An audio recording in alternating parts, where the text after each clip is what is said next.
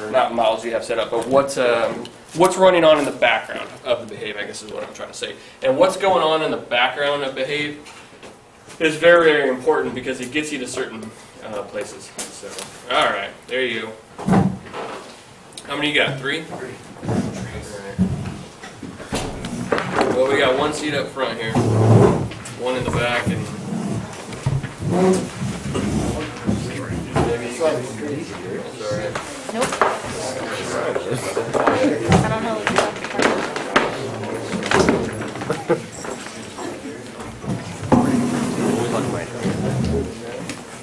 Yeah, That won't come apart. Nah, you Do good? they have a plug-in on the back?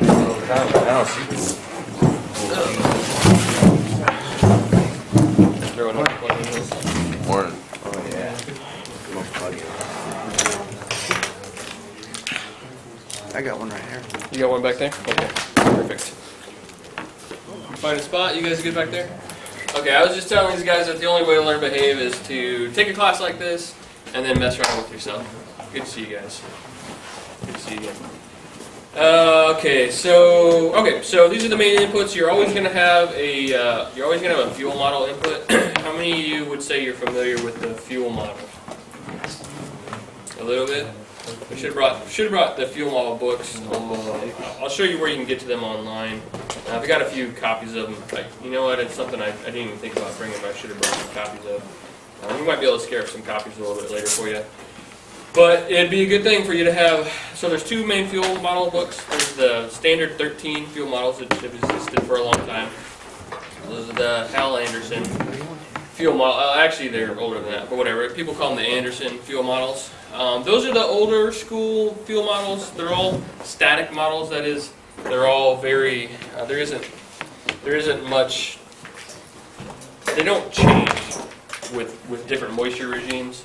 Uh, they're very they're very much designed for use in the summer when um, you know when it's peak at dry when things are at the driest. That's what they were designed for. They actually don't work that well for prescribed fire, even though we use them for prescribed fire pretty often. And then there's the uh, then there's the 40 fuel models, which are the Scott and Burgan fuel models. So uh, let's see. So these arrows, these little blue arrows. All these little blue arrows, you can click on all of them, and they bring up information for you. So for instance, I'll click on this fuel model, uh, and it brings up, and most of the time it brings up a pick list. So for instance, for the fuel model, it brings up this pick list. And so the first fuel model, or the first fuel models that are here, it's see the value where it says 1, 2, 3, 4, 5, 6, 7, 8, 9, 10? Okay, so those correlate to the first 13 fuel models. So fuel model 4 is Chaparral.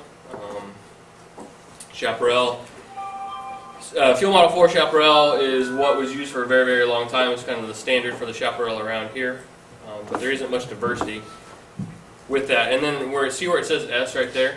That means static versus if you go further down here past 13 uh, and see how the sort values go over to 101 then all of a sudden you're getting into grass 1 grass 2 grass 3 grass 4 on down the line. These are the 40 fuel models and there's a lot more variability here. And there's actually d which is a dynamic fuel model which we can mess around with that sort of thing later. I'm not sure if there's any examples or not. But uh, the point of bringing this up is that these are the fuel models that are available to you. You have the first 13, and then you have the second 40. And so you need to know what your inputs are. Whether say you're say say you're writing a burn plan, you know you need to choose what fuel model you want to use, and that's what fuel model you choose in a burn plan writing, and then you start to run your uh, you run your outputs from there. I mean, it all goes back to what fuel model you choose, and if you choose the wrong one, or if you choose something that is not applicable, then all the data you get from it afterwards is going to be crap, basically. So you really need to know the most appropriate fuel model to put in here. Okay, and then you start getting into your moisture regimes, and so if you click on the arrow by the moisture regimes, and I encourage you guys to do this with your computers too as we go along, or, or whatever, however you learn best, but get used to pressing these buttons. So what it does when you click on the arrow by the fuel moistures or, or herbaceous moisture or woody moisture or any of these is it brings up, it says from, through, and step. So you can do, oh, and on the top here, see where it says 1 to 60? that is the range that you could put in. So if you put in 61 and press OK, it's going to say, oh, you made a mistake. Okay, it's outside the limit. It says the from field entry is outside the valid range of 1 to 60. So it automatically tells you, and this can be pretty useful sometimes, especially when you're doing your pre-work problems. Uh, it can help you decide what numbers to use or what numbers, what the range is. So 1 to 60 is available, so you know you put like 26. Okay, that's cool. Actually, you know what, let's go ahead and, uh, what do I want to do? Yeah, let's just do a very simple sort of input just to show a quick overview. Sound good? Alright, so let's choose a fuel model. Somebody pick a fuel model that they want to run. What are we here for? Yeah, we can do Shepherd. Alright, we'll do we'll do some others obviously. Alright, so we're gonna choose fuel model four. Alright, cool. So what, what changes do you see once I put in fuel model four? What changes on that input screen here did you see? They open up from, there's no longer blue, they're all no longer. Yeah, see how they're not shaded? Thank you, Sal. See how uh, 1, 10, 100, and live woody moisture is no longer shaded? Let's, uh, let's change that to a different fuel model. Let's go to 9. Okay, now 1, 10, and 100 is no longer shaded, but live herbaceous moisture and live woody moisture is now shaded. Uh, Anybody that knows fuel models well enough want to say, and know the difference between fuel model 4 and fuel model 9 and why, why there might be a difference there? And this goes back to understanding fuel models and how they work. One's brush and one's timber. Yeah, so four is brush, right, Cindy? Mm-hmm. And so because it's brush, it's going to have a herbaceous, well, it's going to have a live woody moisture. But fuel model four does not have a herbaceous associated with it, right? So it has a live woody. So like, remember how you guys take live woody fuel moisture percentages? You know, like the, the percentage of fuel moisture for the chaparral. Like, like You a see that reported? Like a fuel stick, is that Yeah. what, that's what a woody is? What the woody? No, well, the fuel stick is the 10 hour fuel. Uh, Kiln? Yeah, but when you guys go out and do oh, the new okay. and the fuel, uh, old fuel growth, samples. Yeah, yeah, the actual fuel samples, they're usually like in the, well, 60 is critical, yeah. right? It goes up to 80, 90, 100. So what's a herbaceous? What is that technically? Herbaceous would be if you have, uh, well, grass Okay. or forbs or anything like that. It's Okay. much more, it's the smaller scale stuff. It's Okay. not woody. So if you think of woody, you know, I don't know how to say this, but woody is like wood, you know, like the, the stems of Uh-huh. chaparral. Okay. Uh, The technical definition would be lignified, which means so like uh, y- you guys all know the difference between like a piece of wood and a piece of grass. The grass is non-lignified; it hasn't turned to wood. Uh, so anything that hasn't turned to wood is would be would be in the herbaceous category. Chaparral, at least the way chaparral is modeled as an input to fire behavior, herbaceous does not affect it, but the live woody moisture does. So if we change that back to fuel model 9, which is long needle or hardwood litter, when I think of fuel model 9, I think of the, uh, the oak litter that I started my career with back in Illinois. You guys ever burn back east? Uh, it's that it's that litter layer. There's absolutely no herbaceous moisture, or there's no herbaceous species or or woody species, or herbaceous or brush species basically that are driving it. So that's not considered herbaceous, even though it's like It's not similar to grass. It's the uh, it's the primary carrier of the fire. Uh-huh. So when you choose a fuel model, you're always looking for what's called the primary carrier of the fire.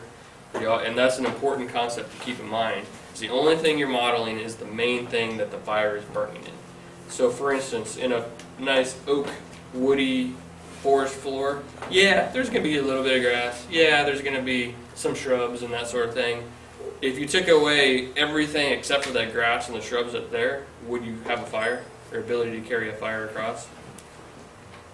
Probably not, right? It wouldn't be continuous enough. You need all that oak litter and litter layer in between it to really drive that fire. That's the fuel model. Does everyone follow that? So that's how you choose it. And that is why in a fuel model 9, which is like an understory timber stand, there's no herbaceous moisture and woody moisture. So those are the difference that, like I was saying, you need to look at those and, and kind of get an idea.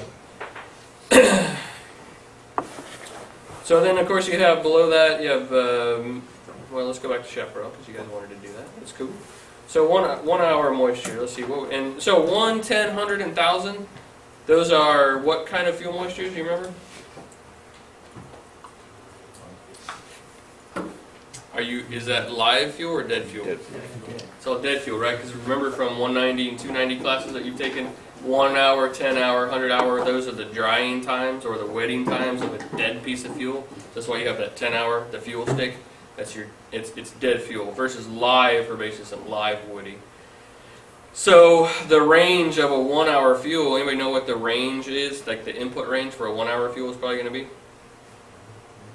Is it going to be as high as 100? No.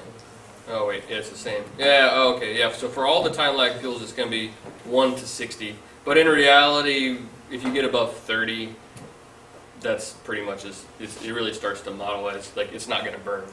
For instance, the uh, the moisture of extinction for a piece of grass is about 13%. So if we do a like a fuel model one, which is all grass in this, and we put like 15% one hour moisture on here, it's not going to show any fire because it's not going to be burning. These are the sort of things. We'll, we'll put it all together. Don't worry. I, don't want to lose you guys on here. Um, I'll show you plenty of examples that look like that. But so you need to understand the limitations of these fuel models is what I'm coming down to. Anyway, so give me, let's do a one hour fuel moisture, four, let's say four, five, and six. That's pretty common for a burn plan. Uh, what would be a live woody moisture of chaparral, like, I don't know, right now? You guys know? What's it sitting at right now? 70 ish. 70-ish? I can't do ish, so I'll just put 70. and then uh, let's do, say, a five foot, five mile per hour mid, mid flame wind speed. Say the slope is about 15. So this is the most basic run that you can make. And this is just going to give you um, a surface, a surface fire. It's going to model a surface fire in this fuel bed.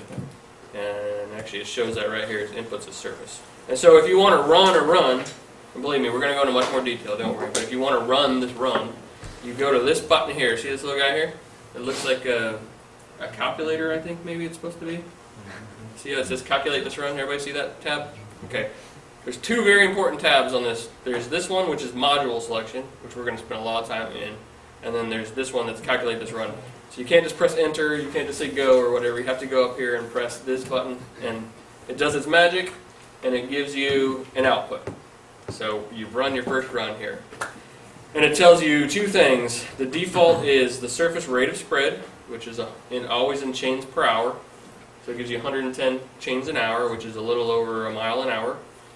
And flame length, so 24.6 feet. So based upon this model, and see these arrows right here, see these up and down, double up and down, uh, up and down. If you do uh, the double up and down and the double down, it's um, it goes all the way to the first and all the way to the last, and then the these single arrows just scroll one at a time.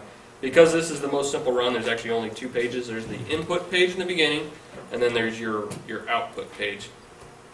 And see how where I did the uh, the description here, pre-work problem one, the uh, in the description in the beginning, right here.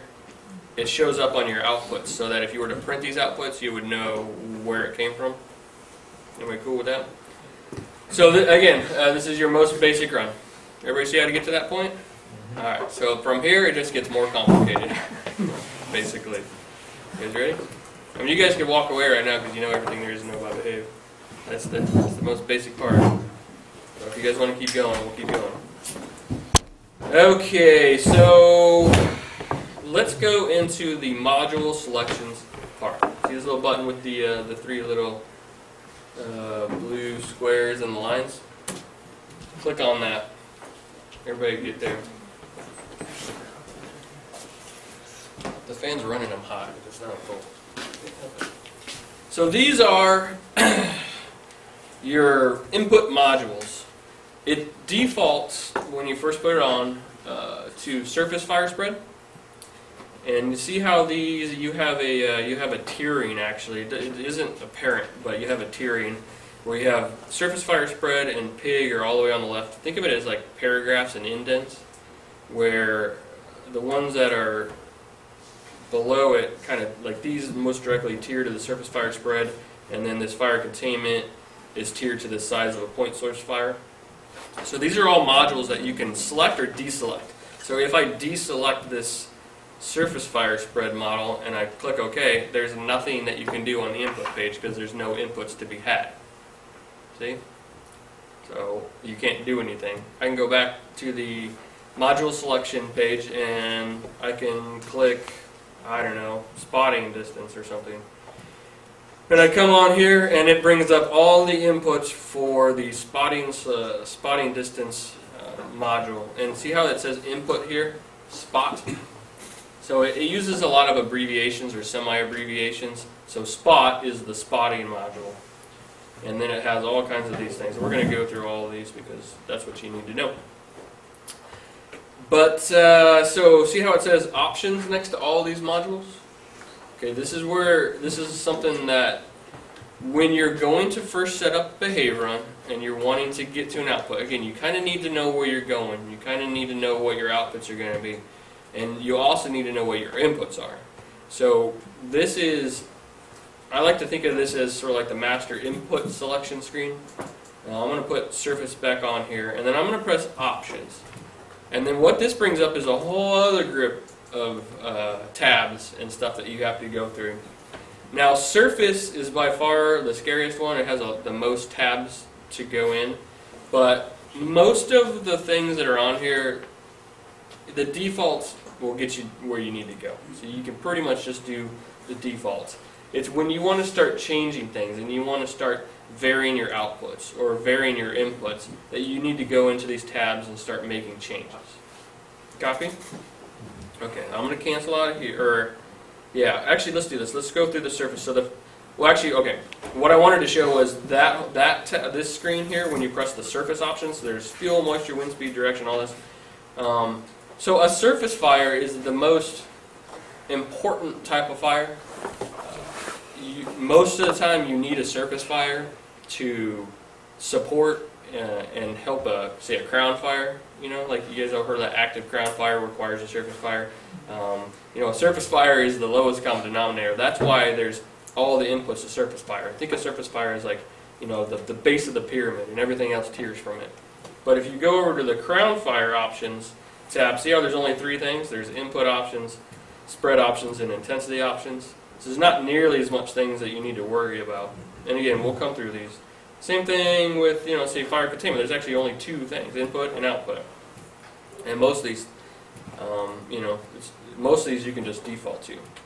But that's why you really need to look at all the surface fire outputs. So the first time you do a behave run, you, uh, you want to go into the surface and you want to make sure that these are where you want them to be. So we're just, a lot of the rest of this class and the rest of this morning is just going to be going through all these tabs and options. But I want to take a step back first and ask if there's any questions about how we got to where we're at, and I'm going to recap it.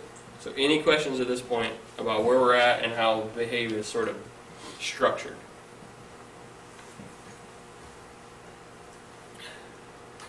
You know, everybody following? Andrew? Um, Cindy, please. Oh, well, what I was gonna say is like, going back to the very beginning, Okay. um, you mentioned about having, the you know, the books and the guides here with the fuel models in it, but if you could just show people that haven't played with this before, when you go in, Right. um, to fuel model and then, um, when it brings up the, oh, yeah, so you click on the arrow right there and then go over to the Yeah. fuel model and if you're not familiar or you're really trying to decide what fuel model you want, you're like, okay, yeah, what's fuel model four? And then you click on the fuel model four chaparral, blue, down. Yes. Thank you, And Cindy. it will bring it up so you can actually go through and, um, Sorry, my screen's off. Yeah, there we go. Yep. and you can look through each with pictures of the fuel. It's all right there for you. Yes, thank you. That's an excellent point. Thank you so much for bringing that up, Cindy. You're right. The books, the fuel model books, are actually in Behave right now. Uh, I think it, the are the Scott and Anderson ones. Yeah. Uh, it ha- it should have some descriptions as well too, right? Well, it has the 13, or it doesn't have the other ones, does it?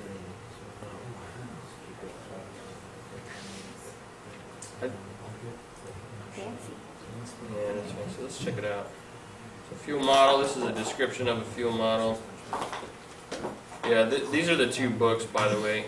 Hal Anderson aids to determining fuel models for estimating fire behavior. That's the 13, and then the Scott and Burgan book is the standard 40.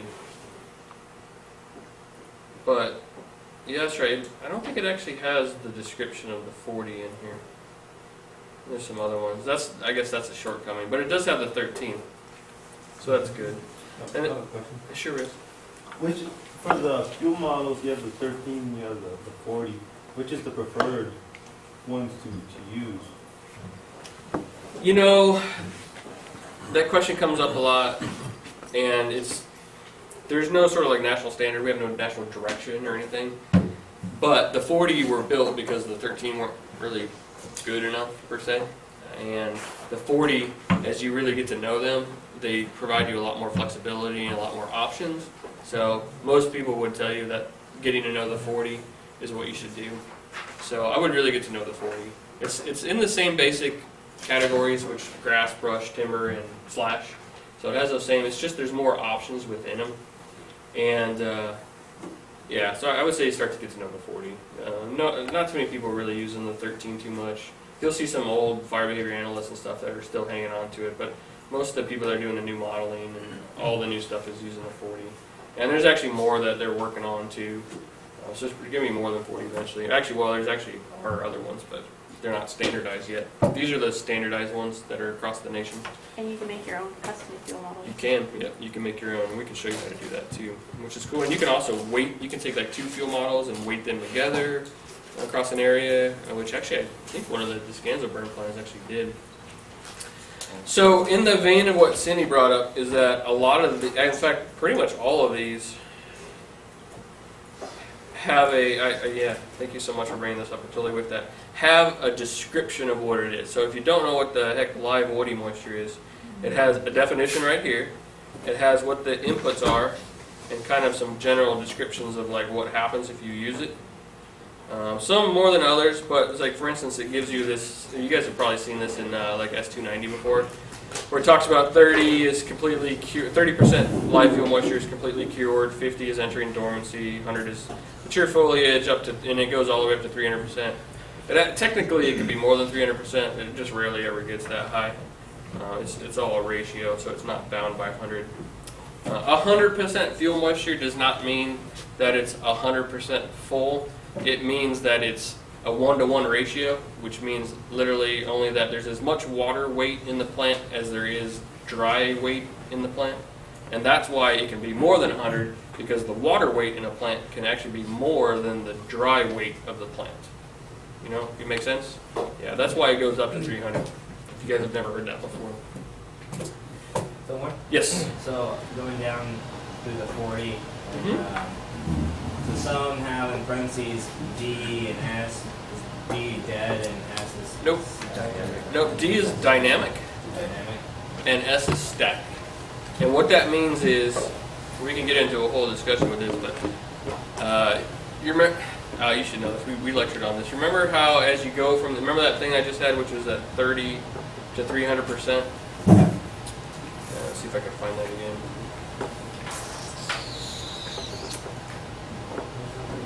Shit, where was that? Oh, it was in the live fuel lecture. That's right. Me bring this up. So what happens is in a dynamic model, as you input, as you even if it is so if it's in the live fuel moisture category, so it's in the live herbaceous. If you put 30% in for the live herbaceous fuel moisture, it's going to treat it as a dead fuel. So it's basically the same as a dead fuel. But as you increase that to 50 to 60 to 70 to 80, it's going to slowly treat it more as a live fuel.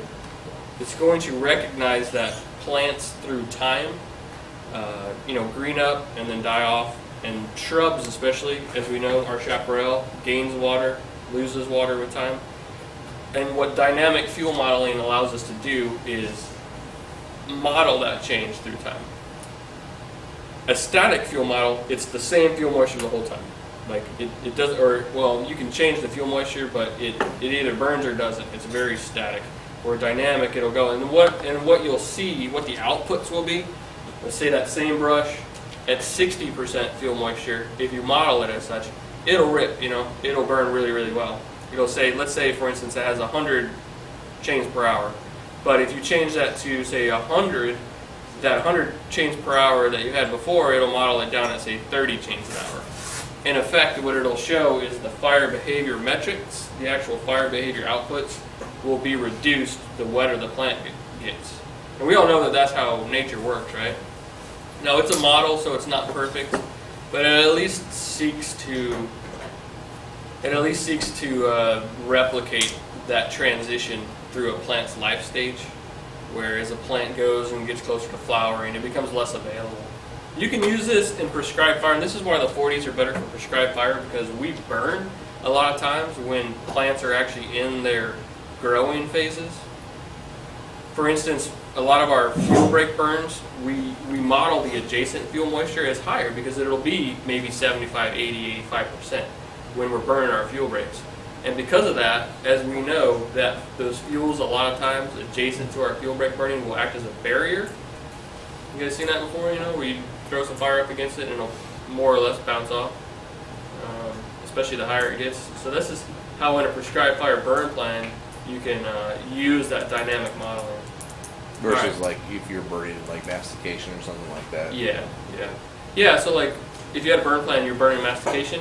You would use your fuel model for the mastication would be static. like a dead, yeah, like a dead, like a 10-hour fuel bed. I think we use like slash blowdown two, which is a entirely a slash fuel model, and then adjacent to it we'll model that that um, that live brush, and so it'll show that yes, it'll burn in the fuel bed, but no, it won't burn adjacent to it, or at least it won't burn very well. It'll burn to a point where we can suppress it for the most part, and we've seen that. Would you guys agree? All right, is anybody completely lost, or we need to spring back on something? I don't want to lose you on this fuel modeling stuff. Good. Seriously, let me know. I, I want. I'll, I'll. I'll just take another minute and explain it. It's cool. All right. Those are some great questions because this is sort of the underpinning, really, like fuel model selection, fuel moisture inputs. It really is the underpinnings of of getting the proper outputs to it. And you have to understand, you have to relate it back to what the plant is doing in time. Cool. There we go. All right.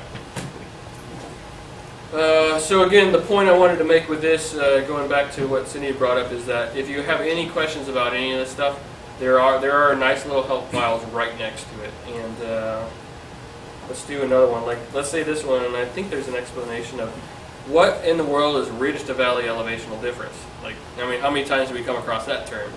So it'll actually say, you know, this is what it is. It, ridge to valley elevational difference is the vertical elevation and difference in feet between a ridge top and a valley bottom. Oh, okay, that makes a little more sense. It's the ridge to valley elevational difference. And uh, a lot of times there's even little pictures to show you that. To see this arrow right here? So from the valley bottom here to the ridge top here, whatever that height is, that's the ridge to valley elevational difference. So I, again, I did a lot of this when I was first learning behave. Uh, as I looked at a lot of these pictures and I looked at the manuals and that sort of thing. Go ahead, Jose. How'd you, how'd you get to that? Yeah, how'd you get to that? Okay, let's go back through that. So remember these little arrows here? Yeah. These basically think of these arrows as there's two things these arrows give you. One is the input, so that you can understand how to input. You can input it directly, like say ridge to valley elevational. I just know it's a thousand feet. Thousand feet. Okay, cool. Or you can go into this arrow. It'll tell you what the limits are, zero to four thousand feet. So there can only be zero to four thousand. That's the maximum. You can't have a five thousand foot elevational difference. Hey, What, what calculation, or, uh, What is that in? Is it spot? what selection modules? like, Oh, okay, that's something? good. Yeah, I'm sorry, guys. I wasn't really using this as an example, but it happens to be the spotting Fine, distance. spotting, okay. Yeah, I'm going to go through all these, and we're going to explain all these terms. It's going to get pretty tedious after a while, but for the record, that's where we're at. Yep. So then what you do is, again, you press the little arrow here, and it brings up two things. One, the inputs, and it tells you how you can input it. And then over to the right of it, always, is the default, is the explanation of that input variable. So if you ever have a question, it's all right there. If you have a question after that, then you, you know, you ask somebody or whatever.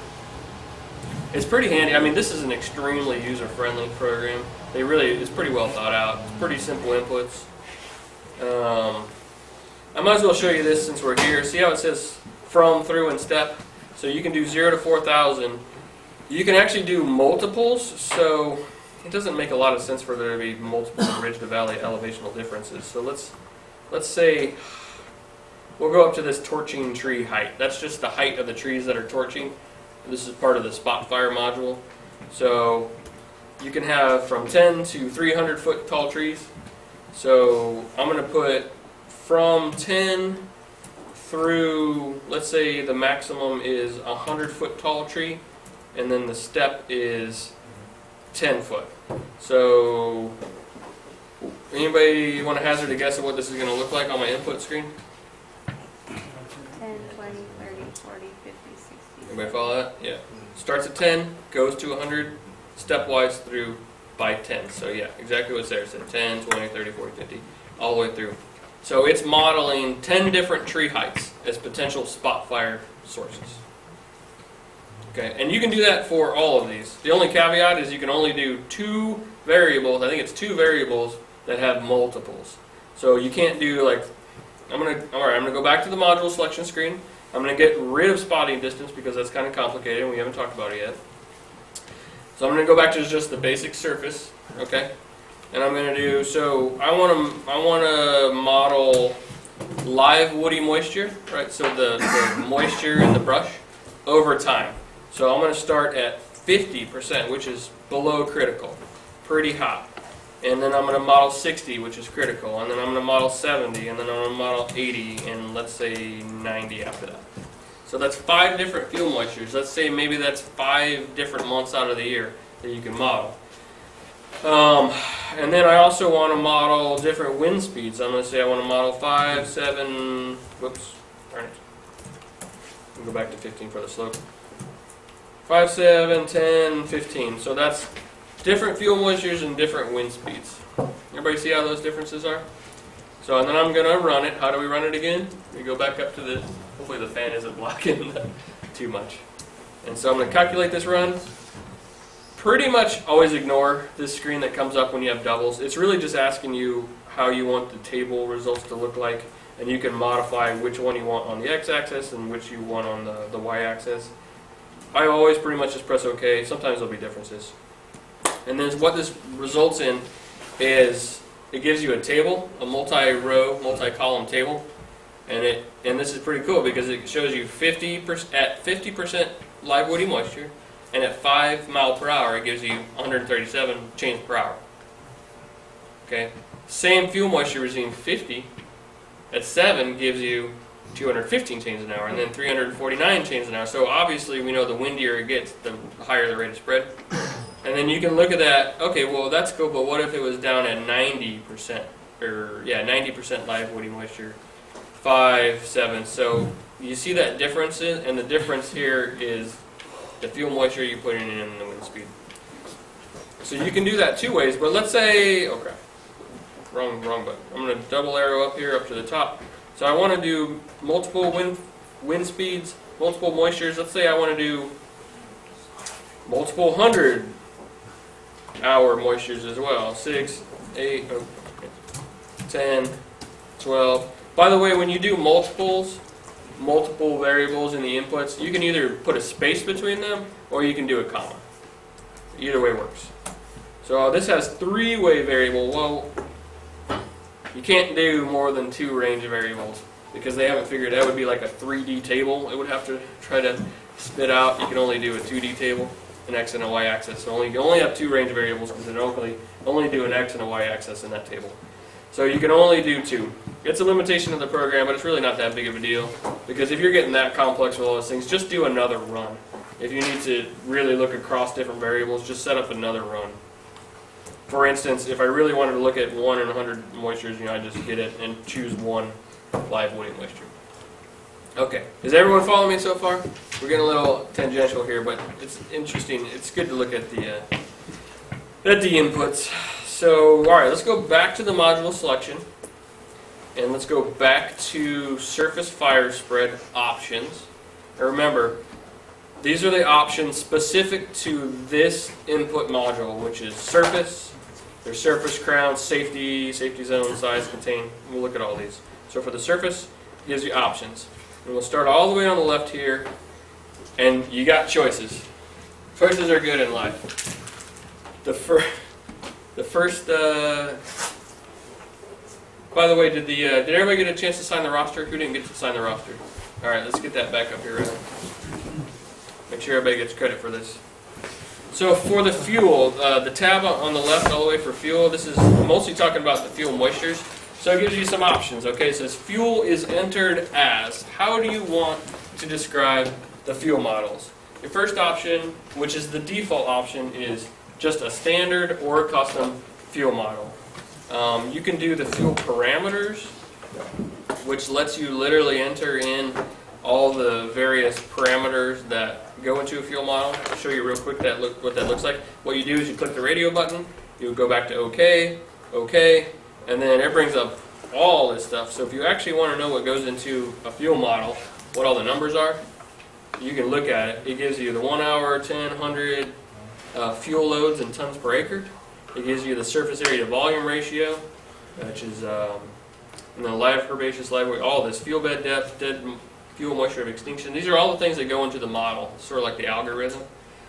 Now there are you can actually change these if you feel like you know what these numbers are, and there are actually some custom fuel models that are available in papers and scientific papers that I've used. There's actually southern, there's a there's a, about eight Southern California chaparral fuel models that are in this paper that you can go in and, and what that paper does is it provides every single one of these variables. And so you just go in and you input those into it, and then you're using one of those custom fuel models. Most of the time, you have to go and do like a very rigorous scientific analysis in order to come up with like what the live woody surface area to volume ratio is and stuff. So that's why most of the time we just use the uh, default. And you can actually initialize it from a fuel model if you want to and start changing. But anyway, so I'm gonna go back to the module selection, surface fire options, fuel. Uh, and then you get into all this other stuff. Uh, I've never really used any of these except for. Well, I've actually okay. Well, I've used two fuel models. So this is you take two fuel models and you area weight it. And this is actually kind of a cool little thing. It's not too hard to use. And what that means is if you think that there's two fuel models out there, or there's like a transition, for instance, maybe maybe you're using um, one of the new shrub models and it's not quite shrub 3 and it's not quite shrub 4. Well, maybe you go in and you put shrub 4, shrub 3 and shrub 4 and you do like 50-50. I think is how it looks. I haven't done this in a while, so let's click on it. So I click that radio button, it says two fuel models, area weighted, like old behave. Um, so first, so it gives you a first fuel model, so you put shrub 2, and then second fuel model, shrub 3. And then uh, it gives you the first fuel model coverage, and what that means is for the first fuel model, how much of it is covering the area. And the reason you don't need to uh, do second fuel model coverage is because obviously you just subtract it, right? So you might say 50%. So 50% of the area is, is, is represented by shrub 2, 50% is by shrub 3. Um, this is not a hard thing to do, and if you really start picking apart the fuel models, a lot of times you'll see stuff like that. Um, for instance, on our fuel breaks, you might have, you know how the we have and scatter, um, and that's you know a, a, like a, uh, a slash fuel model. But we also have kind of areas that are a little grassy, so you could totally do like maybe it's like a slash blowdown two, and maybe like a grass, you know, like a grass two. And that kind of it gives you an average. Remember, this is a model. Like no one's ever gonna like look at your outputs and go measure the flame lengths and say, did you, you know, did you get it close? You just want to give something close. Whenever you're doing this, you just want to give give the burn plan. You know, the burn plan writer wants to give what is a representation of the kind of fire behavior that we're anticipating out there. That's the only purpose of this. It's never going to be perfectly accurate. It just wants to get you in the ballpark. So anyway, everybody follow that? Yeah, it's, it's, it's not it's not super hard, and if you do stuff like this, you look so cool as a burn plan rider. Right? Would be super impressed. And it's not even that hard. All right. So fuel, and then uh, if you're ever get into like palmetto gallberry or whatever, and I've actually used this one, which is a special case fuel model. It's for Western Aspen. There's this paper that came out. Uh, Brown Simmerman in '86 wrote it. I used this one when we were doing aspen restoration. It lets you model uh, fire behavior in aspen Uh, because there's no good fuel model for it. So, but most of the time, you're either going to use this fuel model standard or do area weighted. So this is just options that you have. So you need to go in here and decide what you want to do. And if you want to change it, this is where you change it. Cool? Thumbs up? Alright. Cool. Next one over is moisture. This is obviously referring to the fuel moisture, not like rain coming down. It's the fuel moisture. And it gives you two options here. One is dynamic curing load transfer. It's calculated from live herbaceous fuel moisture or input directly. Okay. So remember that whole concept we talked about where if you use a D model, a dynamic model, where as you increase the moisture in it, it models it differently, where you go from 30% to 50% to 60 to 80, it'll lower the rate of spread and it'll lower the flame length. So the default is it's calculated from the live herbaceous fuel moisture, which simply means it looks at the live herbaceous fuel moisture and depending on what that number is, it's going to change the flame length. Or you can override that, or it's going to change the fire behavior outputs. Or you can override that and you could input it directly where, and the only reason you would do that is if you don't like what the output is. If you, if, if you think that despite the increase in moisture, that's the fuel, and despite the increase in the fuel moisture, or despite the decrease in the fuel moisture, you, you know, you don't like what, you think it's actually higher flame length or a lower flame length, you can actually change that. So let's look at, I'm a visual person, let's see what it looks like, right? Uh, so if you do calculate it from live herbaceous, it just does it automatically in the background. But if you do it input directly, I think I'm actually going to have to change the, I'm going to have to change, so I'm, it's grayed out. Whenever it's grayed out, it means not applicable. It means it's, it's, you can put whatever you want in here, it's not going to listen to you because it's not part of the algorithm. Okay, so how do I, how do I make it relevant? I'm in a fuel model 4. How do I make fuel load transfer portion relevant? Or in other words, not grayed out. Changing from model. Change what input? The fuel model. Remember how I said all 13 of the of the fuel models are static models? That means they won't they won't do that dynamic load transfer. So we have to go to something that is a a D, right? A dynamic model. So let's go to grass 5 low load humid climate grass. Bam, see how it popped that up?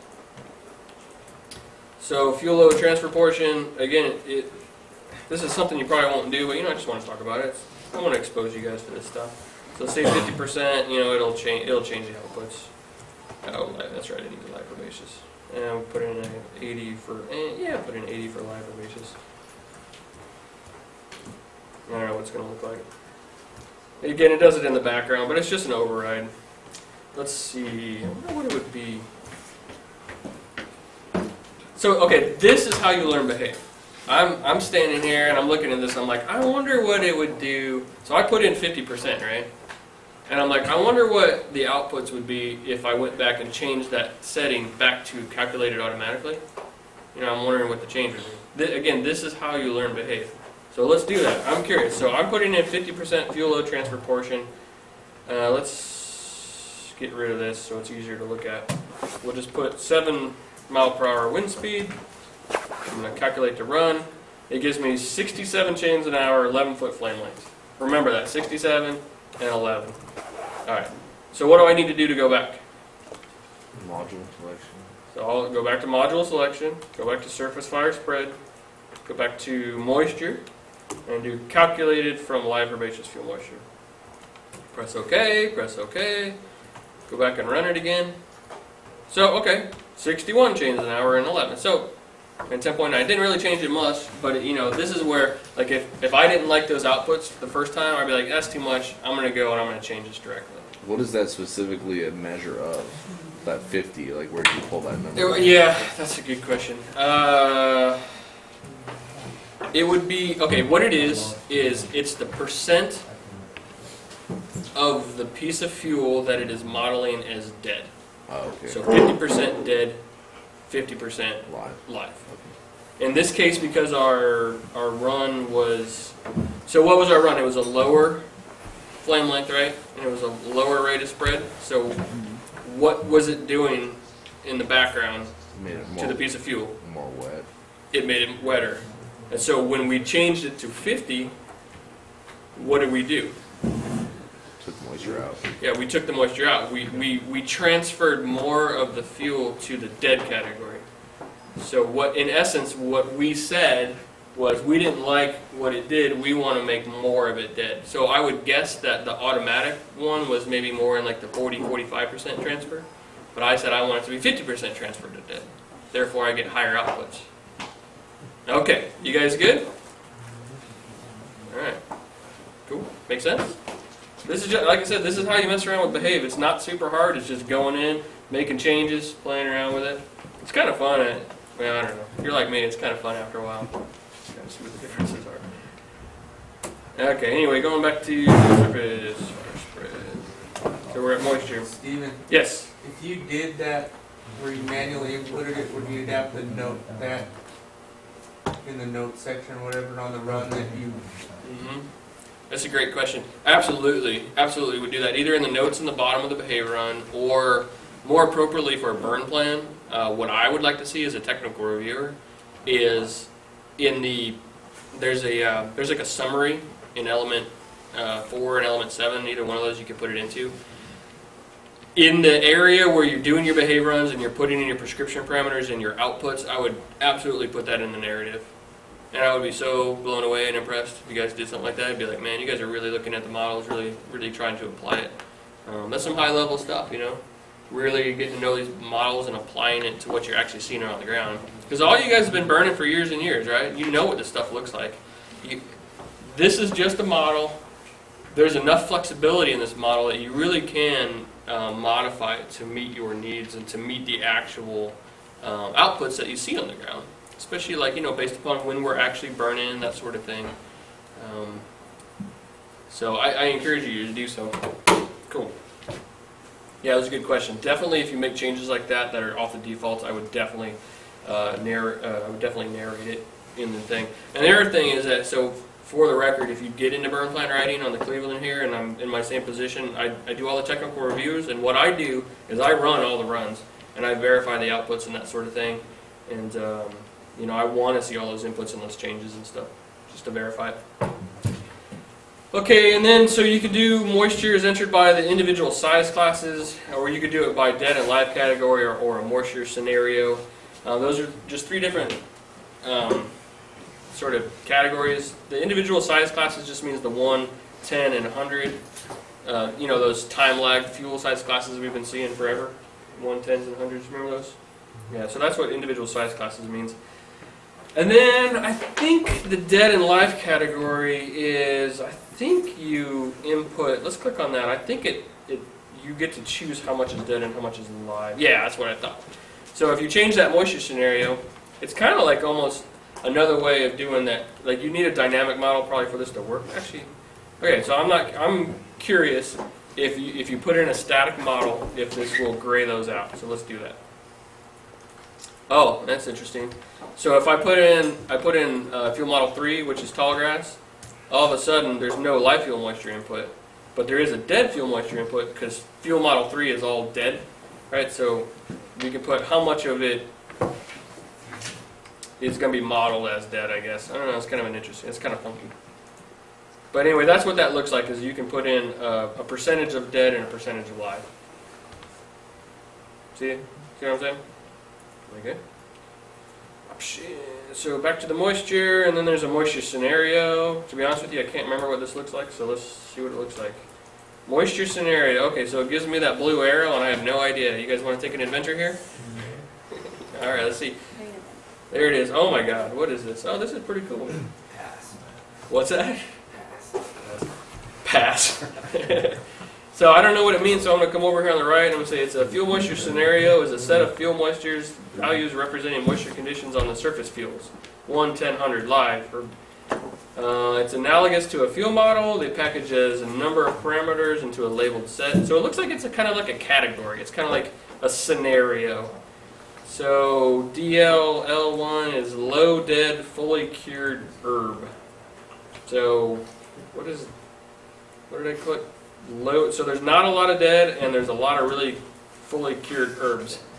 What do you think that would look like fire behavior wise to have low dead component and fully cured herbs? Light flashy fuel. Light flashy fuels, yeah. Probably would burn all right, but not a lot of dead component. I don't know. So it's just like a scenario. And then there's high dead, high dead, fully cured herb. I don't know, just weird stuff. That's actually could be pretty cool. Pretty cool. Are those numbers on the right? Did you say that? Are those the, the one hour, the ten hour?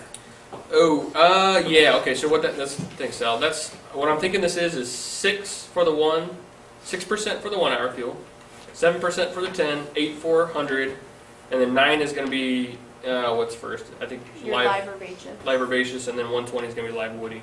So that's the actual numbers that go into it.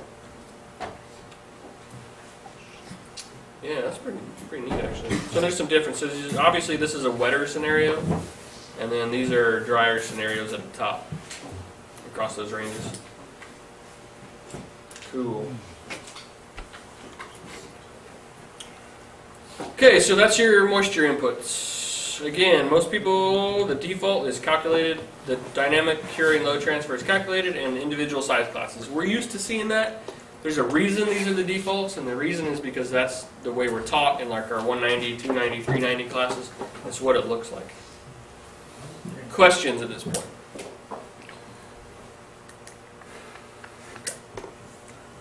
So then wind speed. This is this isn't uh, actually yeah. So wind speed and directions. These are the two that screw people up the most. And like even to this day, I'm like I I'm not an expert in behave by any means. I'm not trying to be, but I, I still have to like really think about this. So there's a couple different things here. The first one is wind speed is entered as mid flame height. We're all familiar with mid flame height, right? So right at eye level, that's the same as the eye level winds for the most part. That's the default. That's where your wind speed is entered. Uh, what is the wind speed that we get from the National Weather Service most of the time? 20 foot. On spots, yeah. Unless you specify, you're getting 20 foots. Um, so that's something that can be kind of a misnomer um, when you're looking at your spots and stuff and burning. So there's different ways that you can input this in. The first is 20 foot, 20 foot, uh, and then it's 10 meter, 10 meter. So we're not in uh, Europe or whatever, so we're going to stick with the feet. Uh, and then you have 20 foot wind and an inputted wind adjustment factor. And then there's 20 foot wind and a calculated wind adjustment factor. Whenever it says calculated in behave, all right, here's an asterisk. Whenever it says calculated, it means behave will do the calculation for you based upon an input that you've made. Okay, so it will do the numbers for you, but you have to provide it some, some basis for knowing how to make that calculation. Or, whenever it says like input, that means it's going to rely on you to be the expert input input on there. Uh, you guys should be again. You guys should be familiar with this from like the 290 classes, uh, where you have the uh, um, what do they call it? I don't know if they call it the wind adjustment factor. What do they, They call it? do. Is it It's the called wind that? adjustment factor, it's five point three. point it's based on canopy cover. Yeah, it's the it's the percentage of coverage. I'll, I'll show you. Point three, point four, point two. Mm-hmm. Exactly. Yep. Yep. So let's let's switch it. So mid flame wind height. That's an easy one, but we'll switch it to 20 foot and input wind adjustment factor. And for instance, if you wanted to be able to see what it looks like if they give you the 20 foot winds. So yeah, and this I'm going to click up this blue arrow on the wind adjustment factor. Like Sarah was saying, it goes from 0.1 to 1. It is in in the appendix B. Thank you. And you guys maybe have seen this before, where it's from zero to one, and depending on the coverage of the canopy, um, this is. You guys ever seen this graph before? Some of you probably have. Where you have uh, partially sheltered fuels to unsheltered to fully uh, sheltered, and then partially sheltered depending on the wind slope. And then these are your. This is all in. I think this is in the IRPG, and it's also in that Appendix B, the fire behavior book. So what you have is your your your wind adjustment factor here. For unsheltered fuels would be 0.5, and then it's pretty cool over on this side. It gives you some fuel models that are uh, pretty common to have that wind adjustment factor. So for instance, if we were still using fuel model 4 right here, good rule of thumb if you wanted to do the input would be a 0.5, right? So that's going to reduce the 20 foot wind speeds by half is what it's going to do. So it's going to take a, a 30 foot wind and it's going to bring it down to 15 miles per hour.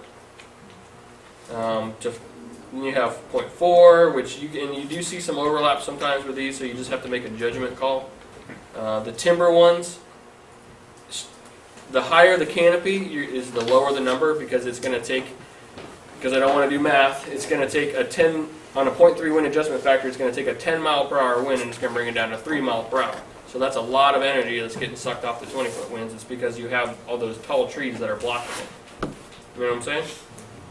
So timber understory four, timber understory four, timber litter, those are all the timber models. And eight and nine are the timber models. And then you have partially sheltered, fully sheltered. Um, so you can go all the way from like an extremely dense stand. I'm sure you guys have seen this before. You, you get into like a like a really dog hair thicket.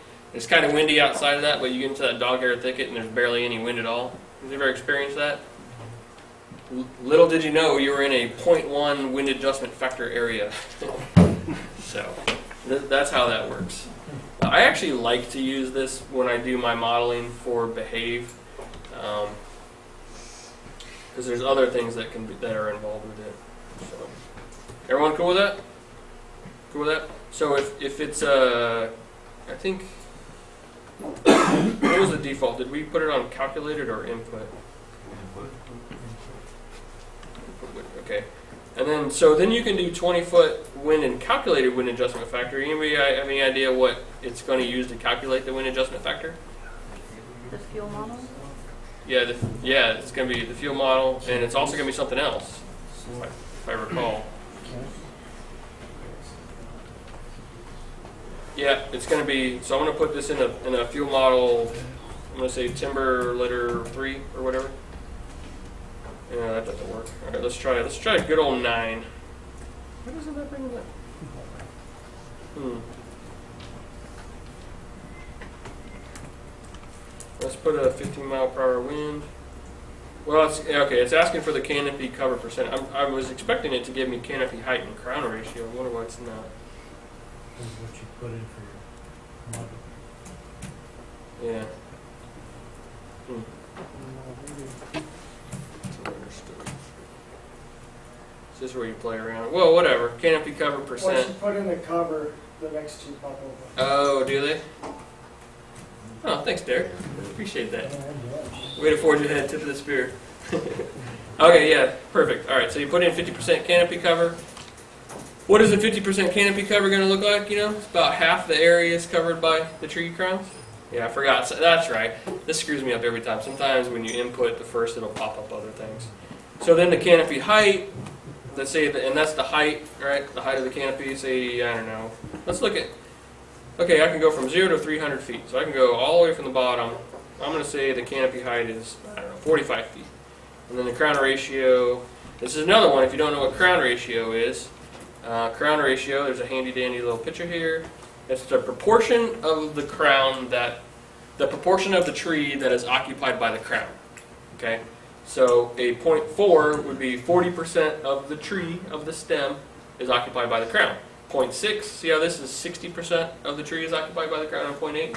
So obviously, you know, the closer you get to 1, is, is much more of the crown is occupied. And why would this be a factor in the, in the wind? Uh, what, why is this relevant to the wind adjustment factor? Shelter. Yeah, it helps shelter it. The more crown you have, the more blocked the wind is going to be. So we'll put in a, uh, I don't know, we'll put in a point four. And you know, this is another example where, you know, you could put in 40. Let's say, okay, 40% is the fraction. Well, that doesn't work. It wants it in, okay, I get it. It wants it in 0.4. So you have to understand the decimals. And then, so what it uses is canopy cover, canopy height, crown ratio, and then it, it will actually calculate the, uh, the wind speed. Yeah, which it might. Sometimes it actually gives you the output. But anyway, so it, it calculates that for you. Just different ways to do I mean, so the cool thing about Behave is it gives you like, for all this stuff, it gives you like three, four different ways to do the same thing. It really comes down to how much control you want to have over the inputs, how much control you want to have over the outputs. So the defaults are always the easy one. It just gets a little more complicated from there. All right. Are we good to go till 11 before we take a short break? I know I'm throwing a lot of stuff at you guys. I, again, I don't want to lose anybody because you got to keep up with it. Um, all right, and then so then there's this other option which is impose It's a question to you. Do you want to impose the maximum reliable effective wind speed limit? And if I recall correctly, what this means is if you press yes, uh, or no, okay, what this is is that so in the um, in the Rothermel equations, which are which are the fire behavior equations that this is running, every fuel model has what's basically an upper limit to how fast the rate of spread, how fat, how big the flame lengths can get. I think it's I think it's mostly the rate of spread. So for instance, you run it and you reach a certain threshold with your inputs and it just won't burn any faster. It won't model that the fire is burning any faster. For instance, it might get to 150 chains an hour and that is the absolute fastest that that fuel model will run. If you press, and it'll keep it at that, right? So on your graphs, it's almost kind of like a, an upward angle, then it flattens out. If you press no, that overrides that and it will continue that regression equation. So it'll go past 150, it'll go to 200 chains an hour, go to 300 chains an hour. It'll just keep going. Um, again, why, why do you think you might do something like that? Why would you override the model? Because you know from experience that it could do that. Exactly. That would be the only reason I could think of is, like Sarah said, because you know that it goes faster than that. So, the default is to use the maximum reliable effective wind speed limits. Um, yeah, okay. Perfect.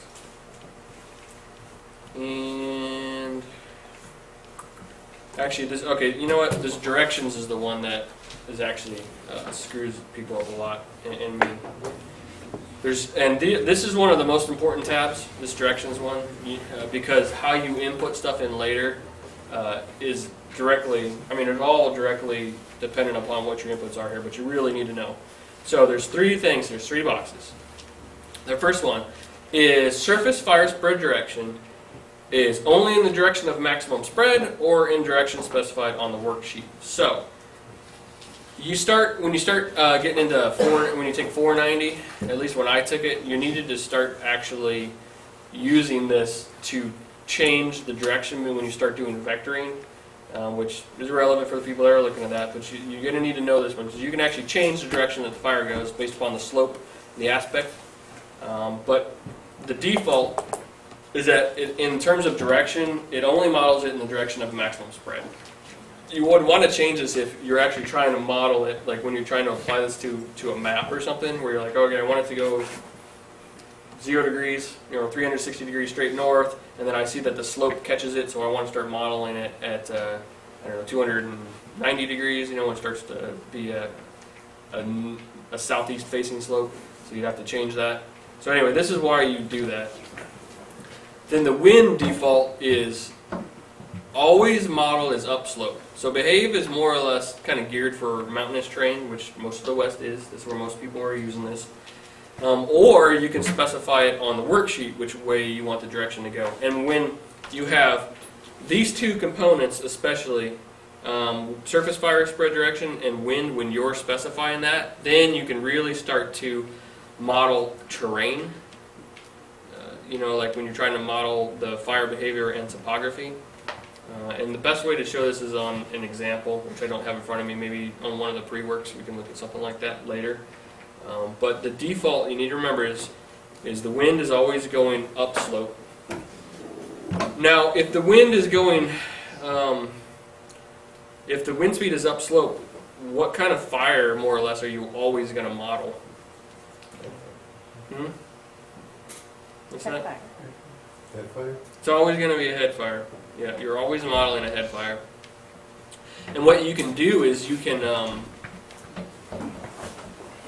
what you can do is if, if you change the direction, say you change the surface fire spread direction. Sorry, I'm trying to knock the rust off here as I talk. It's been a while since I've done this. Um, if you model the surface fire spread direction, say you the surface fire spread direction is uh, straight north, zero, and then you change the wind to not be upslope, which would be with it, and you change it to be say 90 degrees to it. What it'll what how will it model the fire then? The direction is uphill, but the wind is coming at it. Yeah, it's gonna let you model a flanking fire. Okay, you guys follow that? Okay, if, if you go with the defaults, it's always gonna be a fire burning uphill. you can change, you can start to change that, you can start to change the wind inputs. You can even like, you can do surface fire spread direction is uphill, but wind is downhill. You can do completely counter to it. Um, but most of the time what you're doing, like the whole vectoring concept, is you're trying to move the, you start with a point and like in the scenarios in 490, again, at least when I took it, was you start at one point and like you have to model that fire like over the course of a mile. So like up and over a hill and up the drainage and that sort of thing. It's not actually that hard to do. You just have to um, make sure you're aware of this. Use your compass to get the directions, and you also need to look at the rate of spread over time. So anyway, I don't want to I don't want to throw that at you guys. I, I don't want to complicate it. So going back to simplified. Um, again, just be aware. This is one of those awareness things. You need to be aware that the default is always going to be more or less uh, a, uh, a head fire. Um, is that always applicable for what we're burning in prescribed fire, in our prescribed fire activities? It's not always, right? Um, every once in a while, we might try to actually, we might actually try to do a little flanking. Say we do an understory burn. Do you guys ever do any flanking fire? I actually don't know. We do some dot firing. We do some different stuff. Um, if you don't want to always try to get this sort of like maximum potential fire behavior, um, then you can you can start making some changes to this. Um, I've done some prescribed fires in the past where we actually tried to do flanking fire, and, and we wanted to try to model it as such because we knew we weren't just going to light a head fire. Because most of the time, when we're lighting fire, what are we doing? We're actually doing backing fire. We're trying to get some backing fire, a little bit head fire. It's actually extremely difficult and kind of a fallacy to think that we can even model prescribed fire because we're, we're always throwing a strip in, right? And that's burning for like a minute, and then another strip, and then another strip whatever. Anyway, so behave and for and for the record, behave and all these things are really designed for wildfire scenarios, free burning fire out on the landscape, not affected by suppression. Okay, and then you can. Um, this is an important one too. This is the wind and spread directions. This is probably the most confusing tab in all of behave. Okay, so we'll, we'll hit this and then maybe we'll take five minutes need a break. Wind and spread direction are degrees clockwise from upslope or degrees clockwise from north. Okay. This is one of these personal preference that you, as a behave user, or what I always say is you need, need to make that decision now, what you want to do. It really doesn't matter. Both of these will get you in the same place, but you have to know how you're inputting these. Um, and you can, you should always do it the same way every time, because um, degrees clockwise from north is a much different input than degrees clockwise from upslope. Okay. And let's see what that. I think we can actually show you what this is. And again, and actually, I, I should point out this is only relevant if you start to change the defaults up here to upslope wind or surface fire spread direction uh, in, in directions specified on the worksheet. Again, as you become a more proficient and a more advanced user of Behave, you take those 490 classes and some of those other classes where you actually need to change these spread directions. Um, then how you input the wind and spread directions actually comes up. So let me show you what that looks like. Uh, we'll change surface fire spread direction is actually I'm going to keep that in the default for now, only in the direction of maximum spread. And I'm going to change the wind to specified on the worksheet. And I'm going to do right now the default, which is degrees clockwise from upslope. Everybody follow that? So we'll come back and we'll play with this a little bit. We'll go back to surface fire. Uh, let's go back to, let's just do short grass. Let's do something simple. Okay, oh, why is canopy, oh, because of the, all right, I'm going to go back to options. I'm going to go back to, uh, sorry, the wind speed, mid flame. I'm, I'm simplifying it right now. I'm going back to the defaults. Okay. You'll notice that in a fuel model one, which is grass, which is just short grass, that's all there is in short grass. You don't have tens, hundreds, of live herbaceous wood. You don't have anything except for the one hour fuel moisture. So this is like the simplest run that you can possibly do. So just imagine a field of grass right now. That's what we're modeling. And I'm going to do a one hour fuel moisture of 5%, so it'll burn. We'll do a mid flame wind speed. We'll just keep it at 7 or whatever you guys want to do. But what's it, what did it pop up here? It popped up a new input, right? You guys see that? Do I need to scroll up?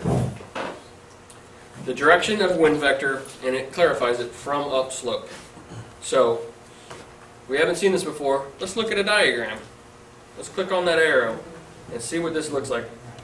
I always have to look at this diagram.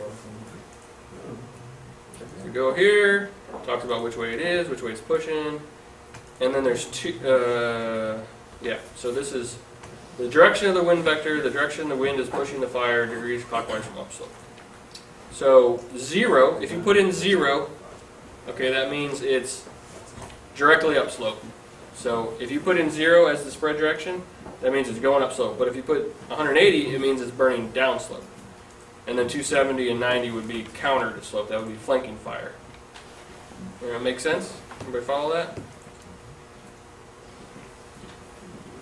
It's so again, just imagine you have you know the side of a mountain, and all you want to model is which way is the wind blowing in in relation to that mountain. Is it going zero straight up slope?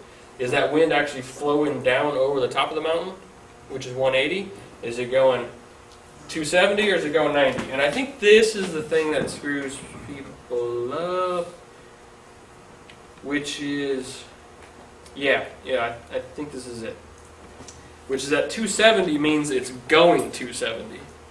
Versus like we think of a west wind as coming from 270. Okay, so that's, remember how we always, when we're taught to, you know, a, a west wind means it's west, but it's actually blowing to the east. It's different here. Like 270 means it's going, it's burning to the west. So, you know, like a thing that could screw you up is if you get a, a story problem in one of your pre-works and it says, there's a, a west wind blowing. Well, do you put 270 or 90 for a west wind? You put 90 for a west wind. Yeah, see, I'm already, I'm like, uh. And so west wind would actually be going that way, right?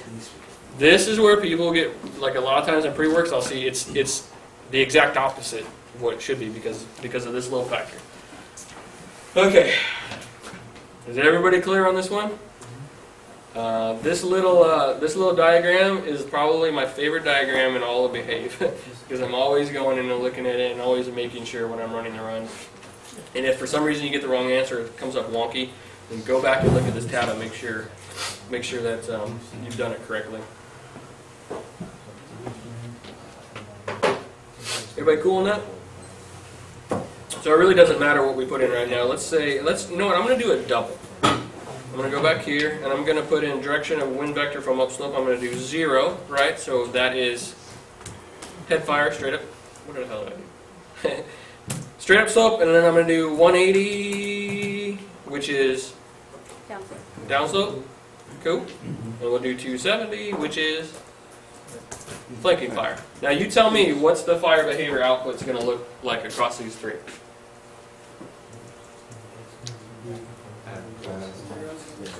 Come on, speak up, somebody. Well, yeah, it's gonna throw. It's gonna show three different spread directions. Well, what are the numbers gonna look like? Zero's gonna have higher outputs. 180's gonna have the lowest, and 270 is gonna have that middle. Okay. Did everybody hear that? Everybody follow that? Yep, that's exactly right. Zero is gonna be the most because it's head fire. 180 is gonna be the lowest because it's uh, burning upslope against the wind, and 270 is gonna be right in the middle-ish. Let's see if that's valid. See if we know what we're talking about here. Yeah, yeah. Okay, so zero is 198 is the highest, 180 is 190 is the lowest, and 270 right in the middle, like literally right in the middle. yeah. So, I mean, and the flame. And interestingly enough, the flame lengths are all pretty much the same. But that's probably the nature of the fuel bed. Like grass doesn't really care. It's gonna burn. What's gonna do? Short grass. Uh, I would be willing to bet we'd see some differences in flame lengths. Okay, so I'm, whenever I'm like, I'd be willing to bet, I gotta go change the fuel model. Why do I? Oh, I always do that. I'm gonna change it to. Let's try a chaparral. See if there's any differences. Oh, flame length, hundred. What did I do wrong here?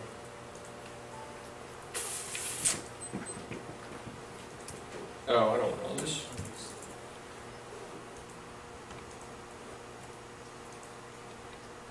Yeah, interesting. That's still about the same. Hmm. So what does this tell you? The uh, so I, all I did was the same inputs, but I changed it to Fuel Model 4 Chaparral. I thought that the flame lengths might be different, but the flame lengths are still the same. What does that tell you about the model? Static. Yeah, fairly static, right? Do you guys think, would you normally expect to see a difference in flame lengths for a fire that's burning uphill against the wind versus one that's ripping uphill or no? The slope has got a little to do with it too. We, we got it around fifteen percent. I think if we increase the slope, you'll see bigger differences. Increase the slope? Oh, I like the way you think. Let's see what we got. So we're going to increase the slope. Ah, there is a difference. So that magnifies the difference too. Yeah, yeah, good call, man. Yeah, good call. Yeah, that's how you play with it. You know. Um, so what's that saying is slope is having an effect on the flame lengths, and wind direction is not really something that affects it. Then again, this is how you get to know behavior. You just start changing these things, and But at the same time, when you get to thirty foot flame lengths, like, it doesn't really matter. Does it matter? Uh, yeah, well, there's that. Whatever, I'm just, this is all existential behave crap right now.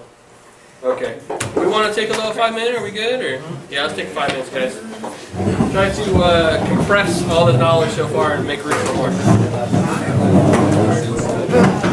so Yeah, no, this is even good for me because the behave I was. You know, all, everything I learned, being self-taught through and just being, oh, yeah, that makes totally sense. Sorry, I'm metrics at. I want to make sure things are. No, it's good. What's up? When you switched it up, Ken. I lost you. I couldn't All get right, back well, why to did it. you say something? I don't want to, you were talking about whatever you want. So, uh, when you switched it up, who went to, Go to direction. oh, I went back to it. Yeah, that, Yeah, so I think, I think it was, yeah, okay. I gotta go back to that. I'm more than this. And then we just. you do it how you want. I just want to go back. No, I, see, there's a lot to it. I- If you don't need it, that's one of those things you gotta like, uh. Yeah, so I just don't want to go The- I think the biggest thing is to know that there's options, there's a thousand options you can do. Yeah. It was saying it's as simple as complicated as you want. Well, you see a picture of mine? Good? Yeah, I see you sucking it up over there. No, I'm You've not. been to this. Oh, you haven't? yeah. You were talking about buying one, and then it's like, you bought one. It's not there. As he was saying. that. So you haven't found it. What color is it? Uh, that's what I want. What color interior, gray? Uh, it's the, like a Orange? orange, Ah, how do you like that? I like it, I didn't like it in the beginning, but I like it now. My brain was. Fifty, huh? Cause you got the seventeen ninety-four, right? Which one, why is, what's the difference with that and the other, with SR five and the platinum? Uh, the difference between the Platinum and, uh, seven ninety-four is got almost silver? exactly the same. It's not a white. What's the, what, what's the, what are the options that? The, the seven ninety-four basically has the western package with the orange, but you can't, for a Platinum, you can't get a TRD package with it. You can only get a TRD package with seventeen. What's the, what's the TRD come, what's the Uh, TRD? eighteen inch alloy wheels Okay. instead of the twenty inch, uh, skid plate on the tank, and then a front skid plate. Yeah. Then. Yeah, there are some, but they're, yeah, they're not very good. What, uh, so what is yours have, like compared to the SR five besides the skid plates and the wheels? What's the, diff- do you have the bench, the, or the, you know, console? It's a console. Yeah, you you can't get the, Not, not in the. see, that's what I Platinum, look, it's the 74. that's what I look, you're like, I think I can, but, so like, I was looking, Yeah. that's why I can't, I couldn't get those trucks if I wanted to. Good. Cause that's why I got rid of my, I, I had to use that. And I got rid of it because it was, that's my council, and now we have six. Yeah. So I can't, if we went anywhere that needed, like, we're gonna go for a bike ride at the beach, you had to drive the vehicle. So, that's why I need the the forty, forty, twenty split. Yeah, that one, that one's SR five, SR five. Yeah, that's the one. I'm telling you, I'm- I'm gonna go, hopefully after Christmas, I'm gonna talk to my wife into going, she was talking about applying. for I agree. it, and then. I know, but you really, like, I watched Especially it. with the feds and. See what they'll do, if they'll do, because they got raised interest rate, but it's like, Yeah, yeah. It is, it is. so, It's They fun, go it's from, like, totally fun. three to like. It's copper, man. I know you can do it. Ah, But, um, see what they say. And then see what I. Uh, You should bring the company. Alright, let's, uh, Bring it down? Bring the company down? let's talk for another, I don't Dunder know, twenty Mifflin? minutes or so, fifteen, I don't know. Dunder Mifflin and Sabre. Dunder, Dunder Mifflin and Sabre. Is everybody back? Okay. Oh, I don't know how- Okay. Oh no. So you remember how I said that this becomes a personal choice how you want to manage this? Um, wind and spread directions are uh, block. So the other option is degrees clockwise from north. So it really it really does the same thing, but it's uh just a different input option. And what I've found is that some people do the first one, some people do the other one. It really doesn't matter. It's just you really have to know uh, which one you're using. Um, and again, it's degrees clockwise from upslope is, if you look at it underneath, it's direction the wind is pushing the fire. And degrees clockwise from north is direction from which the wind is blowing, so that's a different metric. So I'm going to click it down to degrees clockwise from north, and we're going to go back to the example we were just using. Is everybody still there? Okay. Click OK, click OK, and then so again, see how this has changed now from wind direction from north? Let's do what we did before. Um, click on the arrow, let's see what this says, because if I believe, if I recall correctly, it should bring up a different uh, figure. Wind direction from north is the direction from which the wind is blowing. This is the usual way of specifying wind direction, et cetera, et cetera. And so this is, this is, see how the arrows are, are 180% different?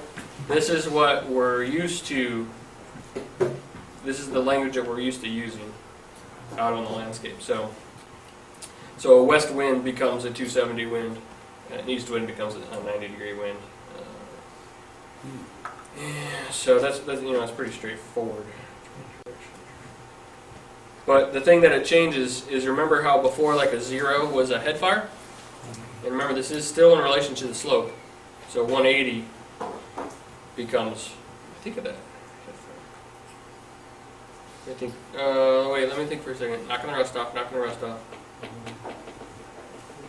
Because so this is the wind direction. You're still gonna need the the direction that the fire is. There's a tab that says slope orientation, Does it? or aspect.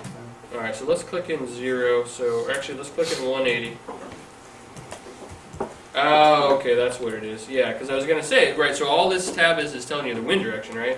So you're still gonna need to know where the aspect is. All right, perfect. Thank you, Rich.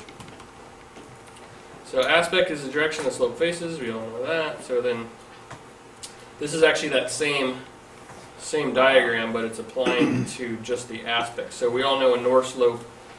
Is, is again, this is the same language that we're used to. So a north slope is going to be facing. Uh, well, actually, no. This would be. This is opposite as well, too, right? So a south-facing slope. I would think that would be uh, would be the arrow would be down, right? Because if you're facing a north-facing slope, you're facing 180 degrees, right? So if you're facing the south-facing slope, you're facing zero degrees because you're looking at it. South-facing is behind you. So again, it's opposite. It's complicated. Don't confuse that. I know it's super confusing. This is so. I, Me for the record, what I use is I use the first one because it simplifies this for you. Uh, so let's set it up. Say we want a south-facing slope. Let's see if this works correctly. And let's do this difference. So there's going to be a difference in a north-facing slope and a. There should be a difference between north and south. So let's do zero, north-facing, and we'll do 180 south-facing. We'll see what that looks like. So zero and 180. Wind direction is from the north. Let's do, or, I'm sorry, not from north, but 180 from north. So 180 from north. So what I'm trying to set up here is a south wind, and I want to see what the relationship to a south and a north face, face slope would be. So this is why you always want to know what your inputs are and what you think they're going to be and what they should be. So let's puzzle this out. So if I have a 180 degree wind and I have a zero north slope, so remember, right, we said zero was north and 180 was south. So what should our fire behavior outputs be? when we press run the run. Anybody want to take a stab at that? It's gonna be higher than zero. So the you thinking okay? So the zero is the matchup. So which one is going to be with the wind and slope, and which one is going to be wind against slope? Think Zero you're- if you use with. Zero's gonna be with the The zero should be with the slope, right? You guys concur with that? I think that's right. think so. We'll find out. well, we will find out. Just run it and then if it's not, then we'll- Well, yeah, you can do it that way. Uh, My, my point only is that I want you to get to the point where you kind of puzzle out beforehand so that you can verify whether you're doing it correctly or not. So you can be like, oh, that's It's not. like, oh god, it wasn't supposed to look like that. I did something wrong. So let's see. Let's see what we did. Uh oh. so that isn't what we thought, and I, I thought that was right too. So zero aspect is a slower rate of spread. The 180 is the higher. So let's go back to the inputs and puzzle that out. Um, so aspect.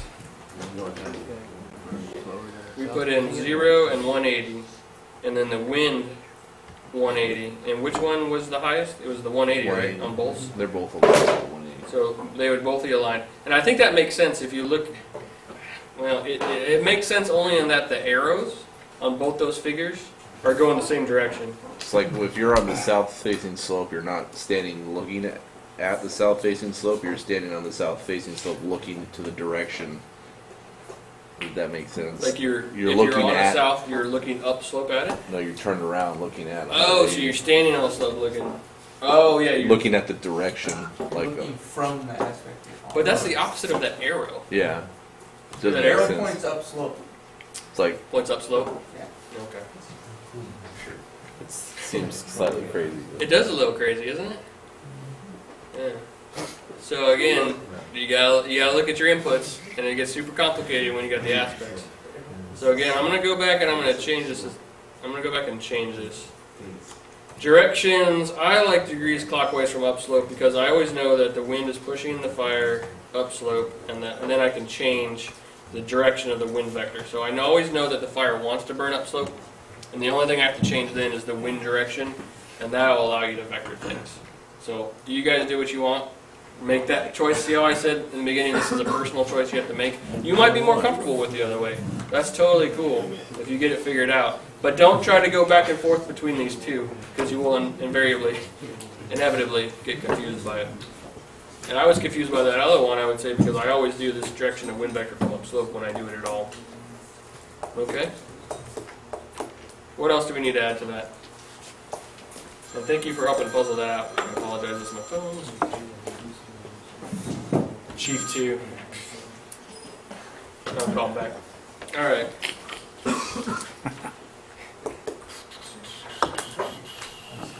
That's good stuff right there. All right, let's go back to the module. Try to get through the surface. Questions? Good. So we're at slope now. This is pretty simple. Slope is either specified as percent or degrees. Um, you guys, the way we usually uh, talk about percent in fire is percent slope, you know, 10% slope, 50% slope. Uh, so that's uh, usually a no-brainer. Usually just use the percent. That's what people are used to seeing. So Steve, I got a quick question. Yeah, sure. So say you mess with everything and you just want to go back to the defaults. Is there like a default button to hit, or do you have to start a new run? There is not a default button All right. to click. Because I noticed a couple times I bounced back and I'm like, why does this look different from what you got? It's because I was not on the right, the Right. Right. You just reinstall it. Yeah. You throw your computer in the trash. No, I, I want to say that if you just turn off the program, Uh-huh. just X out of the program, and you go back and open it back up, I believe it always defaults Okay. to that. Yep, I'm almost positive of that. In fact, I don't know. Want to want to take a look? I might do it. Oh, I hate to do it. I'm gonna do it. I'll do it. You want to do it, Sarah? All right, let us know. There's, I would do it, but I don't know how there's to a get file. back. Sarah, she's gonna do it for you. There's a file. That's a great question, though. As far as I know, there's no like press. Yep. Example worksheet, It just goes back to your- Standard input. There you go. When in doubt, but it not- restart. All right. Yeah, but the restart. Great question. Great question. Look, what's missing?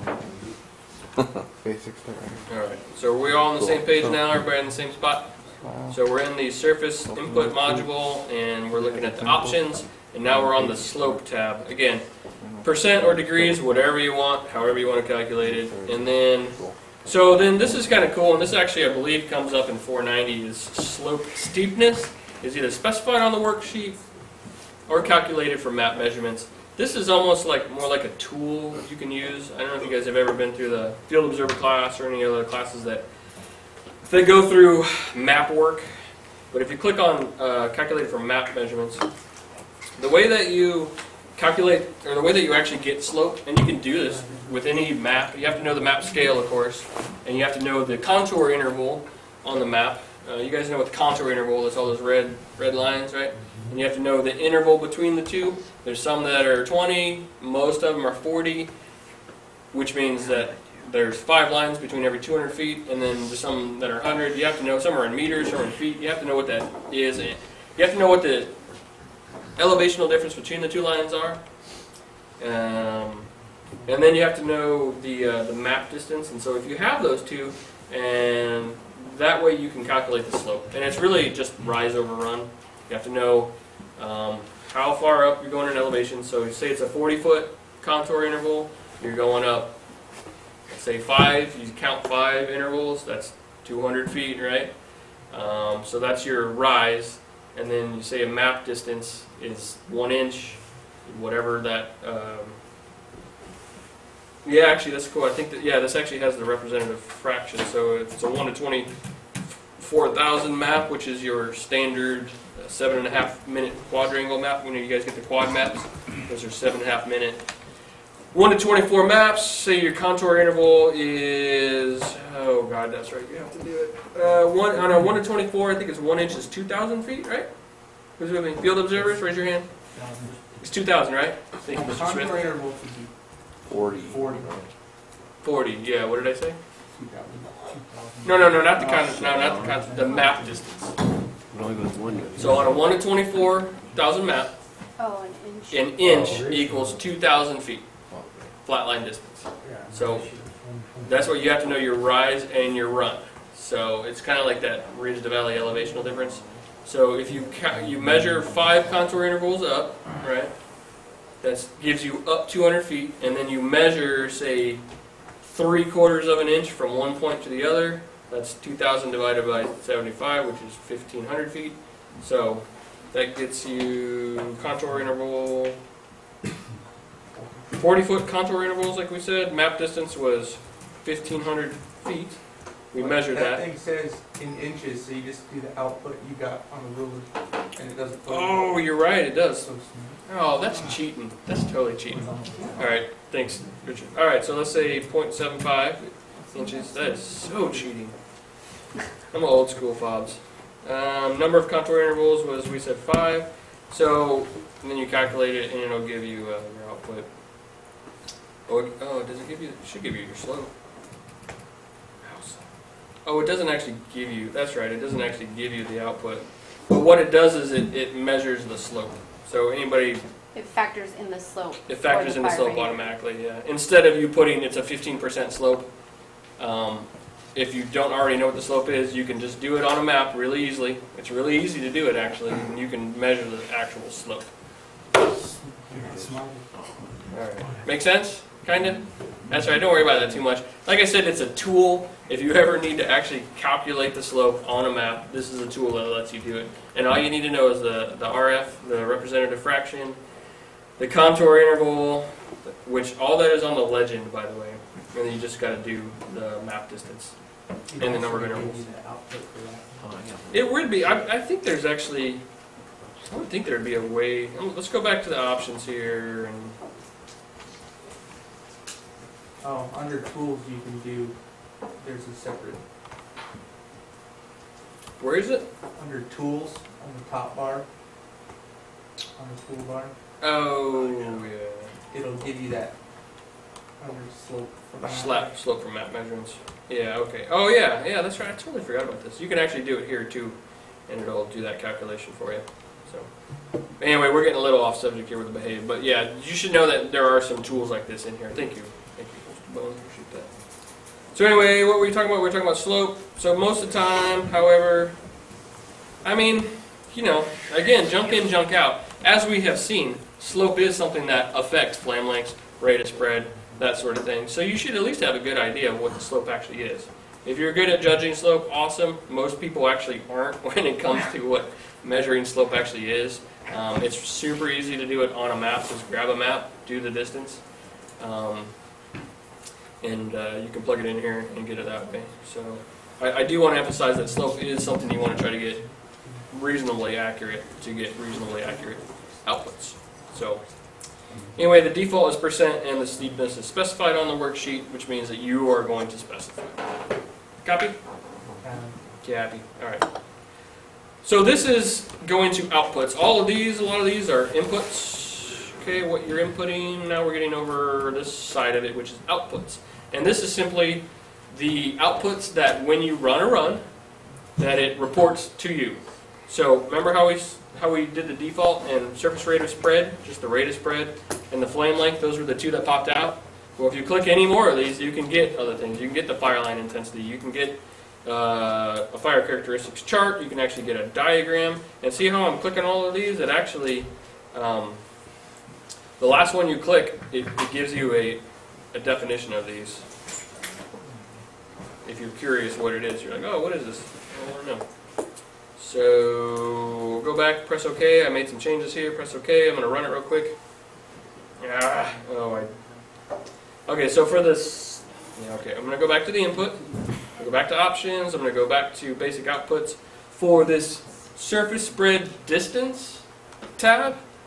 Obviously, distance is a function of the outputs and time, right? Distance, you have to know how long you're burning. So it's one of those things that triggers. If you click it, click OK. If you try to run it and you haven't put an input in, all right, so I want to know how long is it going to burn in two hours. So I put a two there, I, then then it's happy, press that, and then this is a, a diagram. And this is another thing you 490 uh, students are going to have to look at because this shows you, and this is actually, this is super helpful when you go, remember that directions tab? When you start messing with that directions tab, this diagram is very useful because it shows you two things. One, this red arrow is the direction of maximum spread from upslope, and blue is the direction of the wind vector. So right now, what is this diagram showing us? They're in line. They're in line with what? Upslope. Yeah. So the fire you're going to get right now, based upon your inputs, is an upslope fire. Um, it's, it's a it's a head fire upslope. And when you go back, if you were to go back to these wind vectors, well, actually, it should have multiple, shouldn't it? Diagrams are useful for clarifying. Yeah, it does. Okay. Okay. Remember how in the beginning, remember how we had 0, 180, and 270 as the direction of the wind vector, which is the direction of the wind versus the slope. Go to these diagrams. So this is the first one, which is just straight up slope. You see how on this next one, when direction of wind vector from upslope is 270. So remember 270, which is an east wind in this case, because the way we have it set up. It gives you the direction of the wind vector going to the left, to the west, is 270. You see how the red arrow, what's the red arrow again? Direction of the spread. It's the, yeah, it's the direction the fire is spreading. This is vectoring. This is a, something that you have to do in 490. They give you these inputs, and you have to model this vectoring. So all this is showing is because upslope is trying to force the fire, you know, the fire is trying to follow the slope upward, as fire always does for the most part. It's also being influenced by a flanking fire, and so it's, it's not going to go in this direction of the wind directly because slope is overriding the wind, and it's not going to go straight up slope because the wind is overriding the slope. It's going to be somewhere in between. In this case, because if we have a relatively, uh, I guess, relatively strong wind versus the slope, it's going 281 degrees. See this? So this red line is going 281 degrees. At 490, when you do the vectoring and stuff, it it asks you to do this vectoring and it says, you know, and you can put your outputs and you can mess with this. Is it all right? Does everyone follow why it's doing that? It's because wind is pushing it to the left and slope is going up, but the fire is somewhere in between. And uh, this is one of these really cool diagrams that let you verify that this is the way I wanted it to go. Because if it's the complete opposite, you know that one of your inputs is wrong. Cool? Alright. I'm wondering if there's another one. There should be one for zero. I don't know why it's not on here. Oh, you know what? Scroll down. There it is. Thank you. Yep. Scroll down. So this is the 180, the downslope. So upslope is there. The wind. So in this case, it's showing you that uh, wind has overridden slope, has it not? In this case. So even though it's an upslope fire, the wind is actually strong enough to override the slope, and the fire, which is the red arrow, is actually burning downhill. Would venture to get. Would venture to guess that maybe if we put this at like one mile per hour. I think there might be a change. Let's see. I wonder if that would be enough to override it. Mm-hmm. Nope, went too far. Went too far. So you start to see these differences in these arrows. See, with a one mile per hour wind, even though the wind is a downslope wind, the slope is overriding it, and the fire is in fact burning uphill. See that? Yep. And then on, on the next one, what's happening? The the wind is not is has an, a little bit of an influence, but it's vectoring just a little bit, just 343 degrees off slope. So it's not going directly up slope. The wind's pushing it a little bit. Cool. All right. So that's that. Let's go back to the inputs. Surface fire. So again, these are outputs. When you're really messing with stuff and you're messing with it spatially, that is, you're trying to put it on a map or you're trying to figure it across topography, I definitely recommend that you put the surface spread, um, the wind slope spread direction diagram up here as one of your outputs. Um, and then you can put other stuff on here, mess with those. Okay, and then there's wind outputs. And this is the easy stuff. This is just what do you want to see? Um, oh, you know what? This okay. So this would be if you do that. If you do a wind adjustment factor, and yeah, I forgot about that. You did like the 20 foot and the wind adjustment factor, and you wanted to see what the output was. If you were to go to this and put m- mid flame wind speed, it would actually tell you in the outputs what the what it calculated. And the same thing uh, for any of these in this effective wind speed limit, it would tell you if you met the effective wind speed limit. Um, remember what the wind speed limit is? Where a fire, the, the rate of spread, the flame lengths reach a certain point and doesn't go anymore because the, the Rothermel equation, the algorithm, says this is the maximum flame length you're going to get off this fuel model during this fuel scenario. Um, and it'll, if you click this, it'll tell you whether it got exceeded or not. You guys want to see what that looks like? Yeah? Alright, let's do this. Yeah. Because we'll get through these outputs. So I'm going to put effective wind speed, effective wind speed limit, and if it exceeded. And press OK. So what I'm going, so what would we need to put on here to to mess with this that inputs or to mess with those outputs? What would we want to put in? Higher, inputs. higher winds. Uh, we could mess with fuel moisture. That's that's actually good call, but we but what Sal said, we want to mess with the wind speeds because we want to see what that limit is, right? Uh, I'm just gonna put zero for that. So I'm gonna put in a five, a 15, a 30, a 45, 50, and a 70 mile per hour wind. In a, and I'm gonna do a fuel model. Okay, I guess it only goes to 45. Never mind. So that what it did is Okay. Well, I need a break. Okay, 40 mile per hour is your limit. Again, you see how this is 0 to 40 miles per hour? Apparently, it will only model to 40 miles per hour. I've never tried to model outside of 40 mile per hour. So. and I'm going to change the fuel model back to 1 because I know that has a pretty low effective wind speed. In other words, you know, a grass fuel model, especially a short grass, 1 only has so much energy, you know, and more wind is going to reach that limit pretty quick. Everybody with me? Okay. Um, so when I click off of that, it gets rid of everything except for the one hour fuel moisture. Okay, and uh, 40, yeah, we'll keep the slope, whatever you want for the slope. All right, click on that, run it. Okay, you see how wind speed, 5 miles per hour, flame length, fire line intensity, rate of spread, all this is 136, and then it see how it hits 297? and then it hits 297 and 297. What do you think the maximum effective wind speed is? 15. 15. Yeah, it's it, well, it's somewhere in there. If you really wanted to know, yeah, it's it's between five and 15. So So you do five, let's do seven, nine, eleven, thirteen or something. What did I do? Oh, okay, okay. Well, I'm gonna dump these off because I know it's not that high. So I know it's, now we know, right? It's somewhere between nine and seven, which is probably eight. Or so. It could be a decimal, actually, technically. But that's, that's where, like, it, it doesn't make any sense to model anything higher than 11 at this moisture scenario. Okay, so that's your maximum effective wind speed, and all that is saying is that this grass model, at least with the algorithm, will not burn more than 297.3 chains per hour, and you will never get more than a 7.9 foot flame length off of a grass model 1. Trivia question, I don't know what the real utility of that is, but sometimes you want to know that. And then, so you scroll down. Oh, let's see. Oh, it's actually, oh, here it tells you. Oh, that's right. It actually tells you what the effective wind limit is, which is, what, what is it? Eight point six. Yeah, it's 8.6. That's your effective wind speed limit. So it doesn't make any sense to model any more than 8.6, at least for this model. And then it'll tell you, if you can't do the math yourself, that was your max wind exceeded or not. So remember that caveat that I said, what you can do back in the surface fire spread options.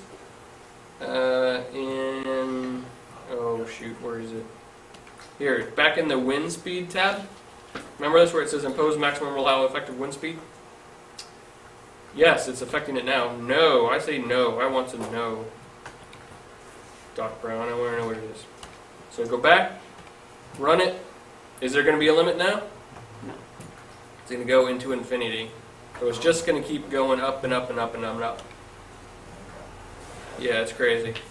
So you're getting 13.5 foot flame lengths at 15 miles per hour. See what I'm saying?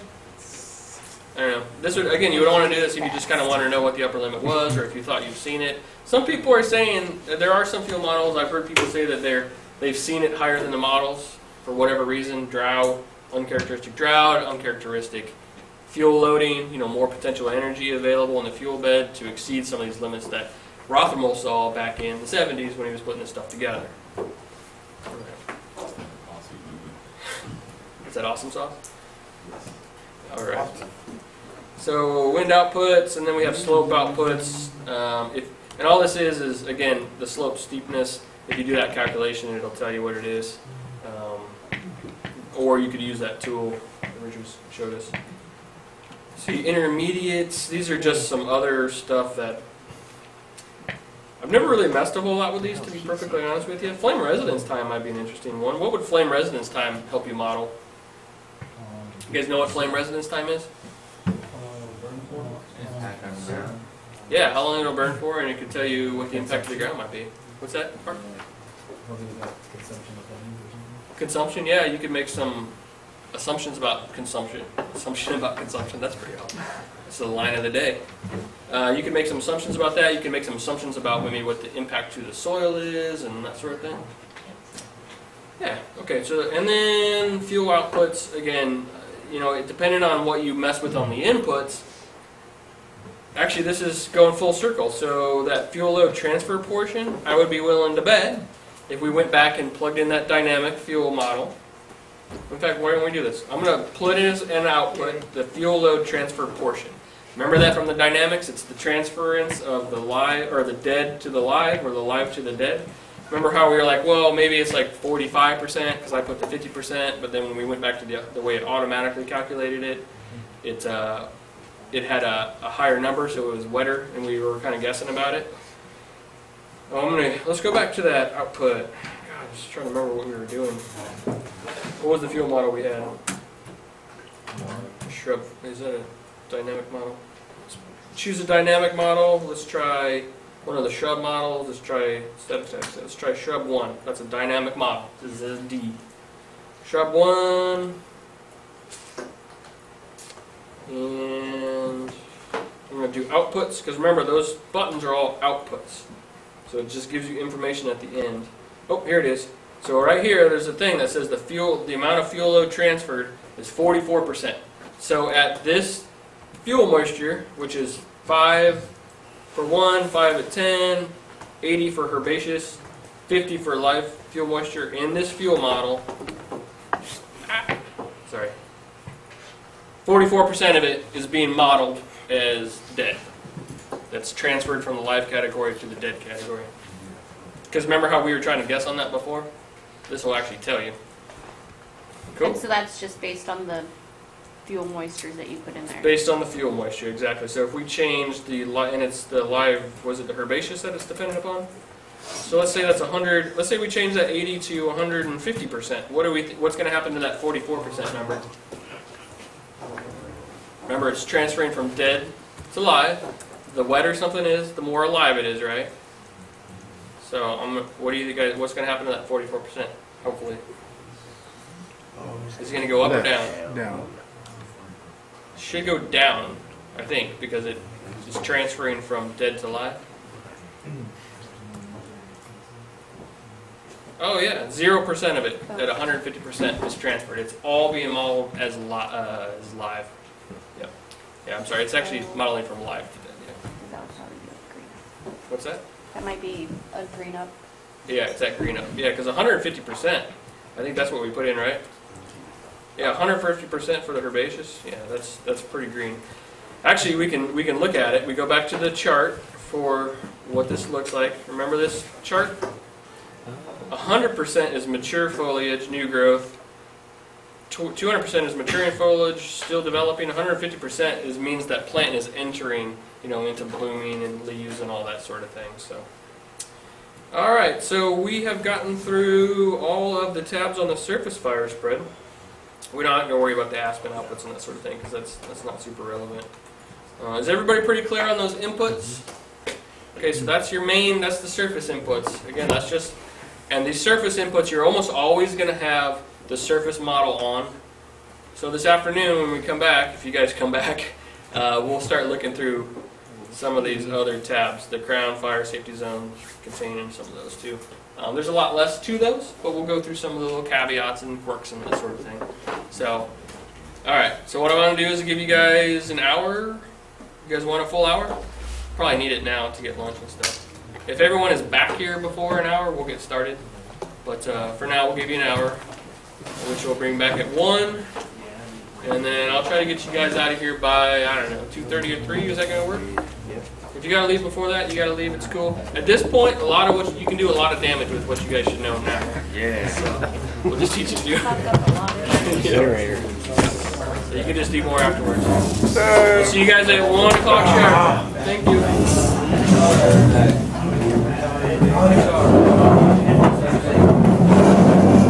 Hold down.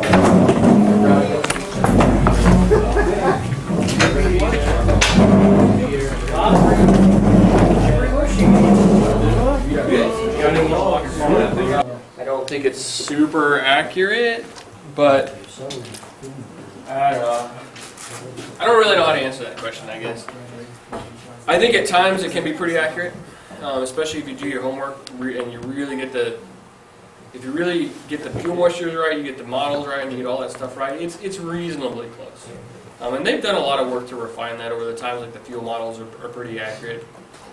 But there's so much, you know, anytime you try to model nature or have any sort of variability like that, there's going to be differences. So that's it's just a hard question to answer.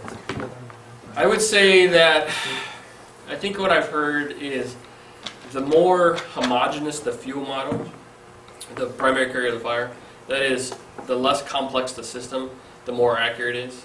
And you have to keep in mind, and does that make sense? So if there's a lot of variability, there's a lot of green brush, dead brush, logs, sticks, whatever. That's there's a high degree of variability on the landscape. That's that's going to be really hard to model versus a grass field, which is they're pretty good. You know, the rate of spread on on just a fuel model one or fuel model two, you know, short grass or whatever.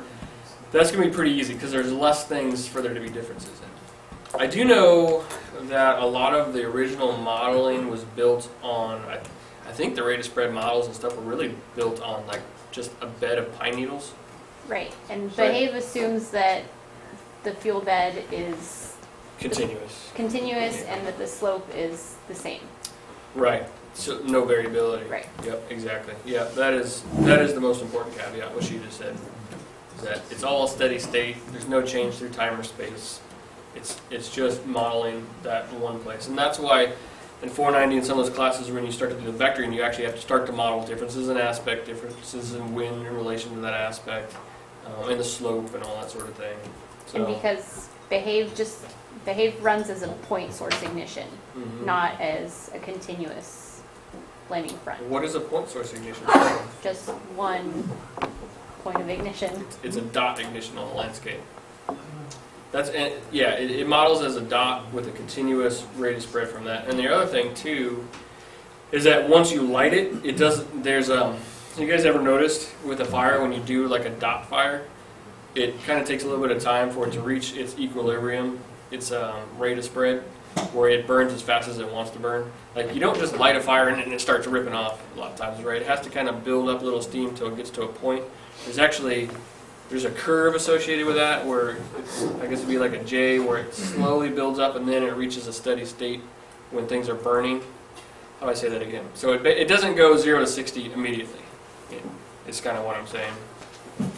And so and it doesn't factor in that. It, it takes it immediately to the to at that wind speed, at that slope, at that fuel moisture regime.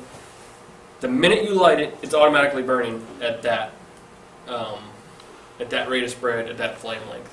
Where in in reality, there's that build up until it gets to that point. Think of that strip that you lay out. You know, when you're burning, that strip isn't burning the way it's going to burn. Right when you light it, it's not burning the same way it's going to be burning in 10 minutes, right? Because it needs to interact with the environment, it needs to preheat the fuels around it, um, get to that point of self-sustained combustion. And a lot of times, too, when you light a fire, it's it's not natural consumption or uh, combustion because it's using an accelerant. It's gas and diesel is, is fueling that fire versus the natural fuels, which has a, is a different sort of combustion source. You know what I'm saying? The difference between a wood campfire or a gas and diesel campfire, which is what we use with drip torches. So you have to wait for the effects of that to ameliorate off. And we almost never do. Like when we do prescribed fire, a lot of times, unless you really just light it from the top and let it chunk down and do natural burning, most of the time we're lighting strips. So half the time it's going to be influenced by that accelerant that we use to light the fire, and maybe the other half it's going to be a free burning fire actually existing in the environment until it hits the strip that you just lit, you know, above it. You guys following me with that? So yeah, there are a lot of assumptions built into Behave that make it really hard to answer the question whether it's accurate or not. So I guess maybe another way of looking at it is again kind of what Sarah was saying, is that it's accurate for small snapshots in time. So it's accurate for the fuel model in that point until it hits something that changes it. Um, yeah, so anyway, it's as good as we got for now. and there's other models. There's more, more robust models. So this does one point and free burns it. There's other models, which is like the FARSITE model, which takes it takes uh, what it does is it does propagations where it does one point and then it burns a little bit bigger. And now there's two or three points along the perimeter, and then it gets a little bigger, and then there's like five or six points, and so it kind of exponentially increases the number of equations, and it, it turns into an actual perimeter. Like on a GIS, it actually makes a fire perimeter and interacts with the landscape.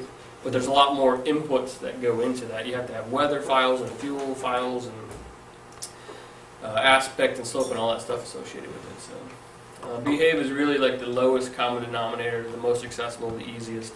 But if you learn the concepts that are associated with it, the inputs, the outputs, you can get into this sort of higher level modeling pretty easily. Actually, it's not too hard. Yeah, it's really not. And a lot of the data, the input data, is a lot more accessible now. If, if you know a little bit of GIS, you can actually pull that data down off of GIS, off our national database. So, anyway, okay, I don't want to go, go too much further in that. Does that answer your question? Yeah. Anybody else have any inputs to that one? It's the question that always comes up, but it's probably the hardest to answer. But it's a good question. You should know. Okay, so there's a few different ways we can go from here. I think what I want to do, though, is I I do think I want to go through the rest of these modules, um, sort of one at a time, and talk about them. But we're not going to spend a ton of time with these, because uh, what I do want to do is I want to make sure we get to some examples, the best way to learn anything like this, obviously, is to go through some real world examples or, or study examples, whatever. I'm move this. move here. So, um, I think what we'll do is we will just go down the list. So let's go to crown fire. So when you want to, everybody with us? So you can keep the surface. Some of these require the surface control or the surface fire spread module. Some of them don't. They'll just keep the surface fire module on in the background at all times. Um, so I'm going to click on the crown. So the crown fire module um, obviously is, is trying to model crown fire. And there's three different types of crown fire. There's passive, active, and independent. And uh, let's click on the option. So when you click on the options menu for crown fire, you have your input options. Pretty simple. Your surface fire intensity, and that's you know intensity is a measure of heat from the surface fire. The heat of the surface fire is very important to how a crown fire is either be initiated or sustained. And you can either have that as flame length or fire line intensity. It really doesn't matter. The default is flame length. Uh, that's easier for people to get their head around than fire line intensity. I can spout out six or eight foot flame lengths a lot better than I can do a thousand or fifteen hundred BTUs per square foot. I don't know about you guys. You might be smarter than I am, which is possible, but uh, probable even. But I can't do fire line intensities very easily. So uh, anyway, so flame length or fire line intensity, and those are both inputs. So for crown fire, you have to have one of these two as an input. You will notice that these two are the only inputs to crown fire. The outputs, remember what the outputs are? All the outputs are are just stuff that gets reported after you run the run. So this just becomes your um, prefer. This just becomes your preference of what you want to see. And this is for your spread, the crown fire spread, and then these are the intensity outputs. Now, again, with some of your like pre-worked problems, it asks for some of these outputs, so it kind of depends on how the problem is set up. The one I like is this uh, critical surface flame length. Critical surface flame length means at one at what flame length does a crown fire trigger. So let's keep this at flame length. Some of these other ones might require. So let's press OK, and then let's go back to see what it does to our input page. So it adds a whole lot, well, not a whole lot, but it adds a few more inputs to this. So does it make sense to be looking at crown fire in a shrub one fuel model? Not, not too much. You can't have crown fire, but this crown fire, crown fire is not really talking about a shrub crown fire or a grass crown fire. It's really talking about a timber crown fire. So let's put in, oh, I don't know. Let's do, let's do, I don't know, let's do TL6. I think. Let's do TL, TL, timber litter 6.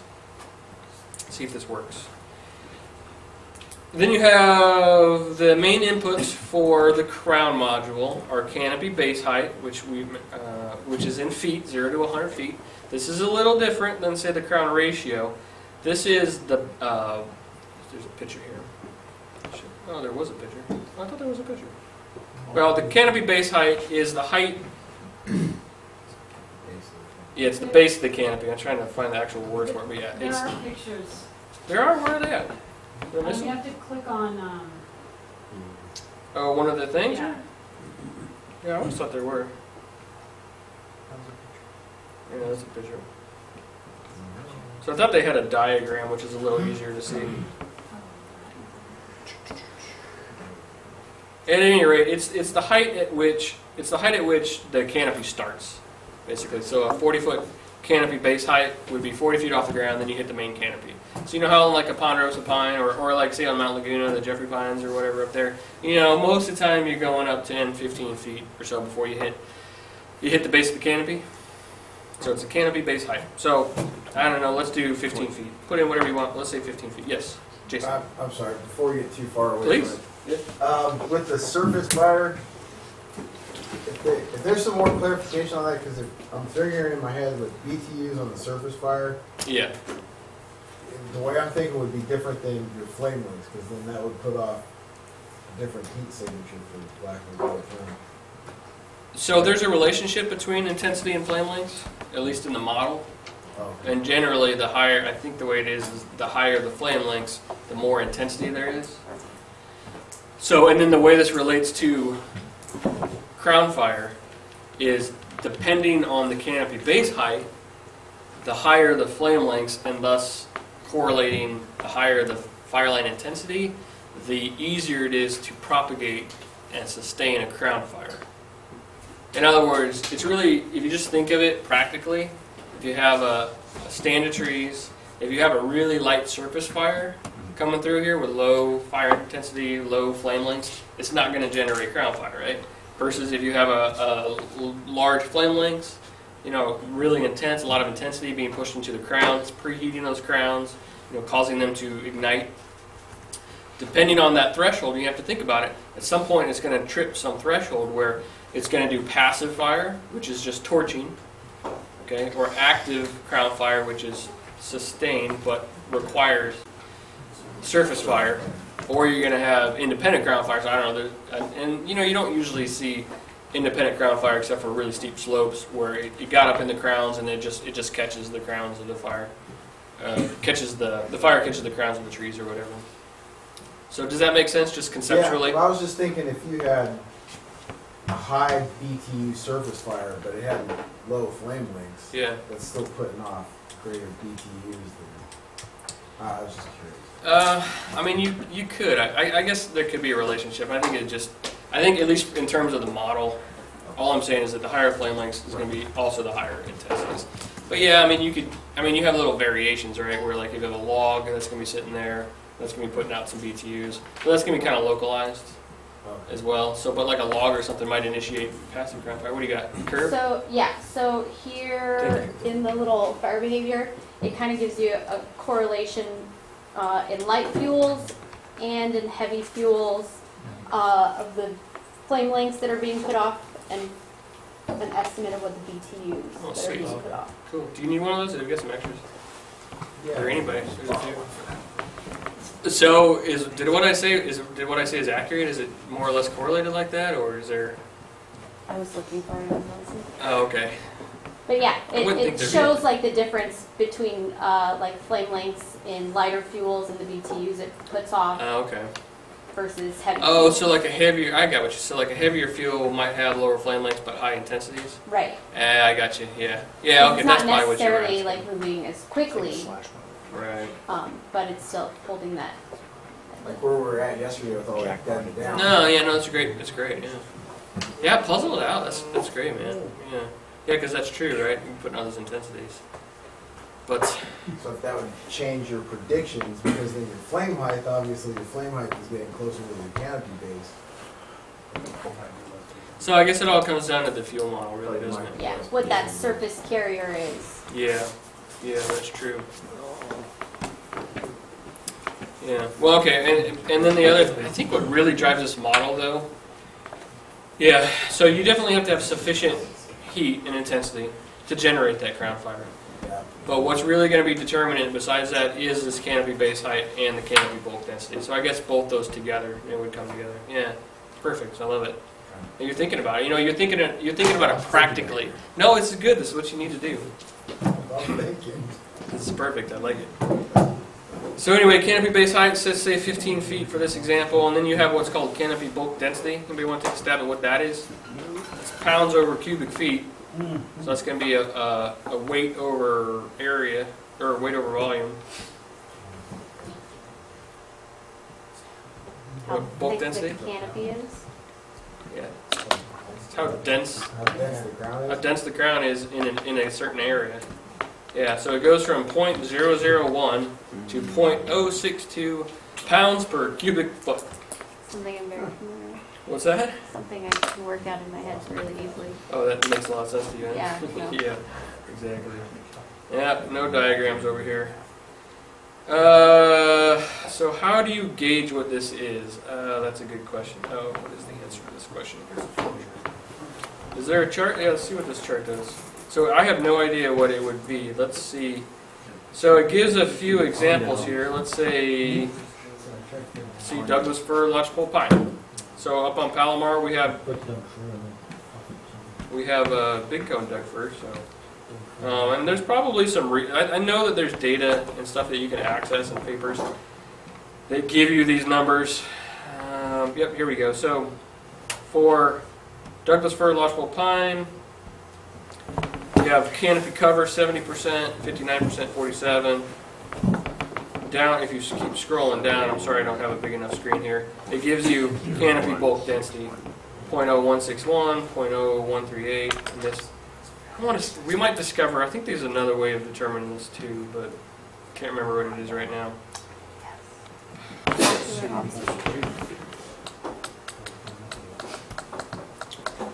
I'm whiffing on that one. It's the, uh, the tacos I had for, for lunch. Anyway, I think a lot of time what I do is, uh, so if you just think about this, again, if you just think practically, right? So you know that 0.001 is going to be hardly any crown at all. Whereas 0.062 is sort of the max. So if you think about like the densest stand you've ever seen, that would be the 0.062. You just kind of have to relate your real world experience to this. And uh, you may want to make a stab and, and justify why you're making that stab and relate it to a, a canopy type that you're used to. Anybody? Come on. Lodgepole pine, Okay, a lodgepole pine. and that's gonna be on the higher end, like one zero zero six two. Mm-hmm. What, what, if you had to choose a number for lodgepole pine, you know lodgepole pine isn't the densest you've ever seen, but you know it's on the denser side. What might you put? Point zero Zero four or something? Yeah, maybe I don't know. Yeah, there's no wrong answer or right answer, but I would say that would be reasonably accurate. Um, I know there's places where you can get some of this reference. They have some of it in Behave, and there's other papers. Yeah. So versus, let's say you had like a really open, like say Ponderosa pine stand. You guys have seen any really open pondos or some of the thinner areas up on Mount Laguna, say the Jeffreys? What what might you guys be comfortable with that?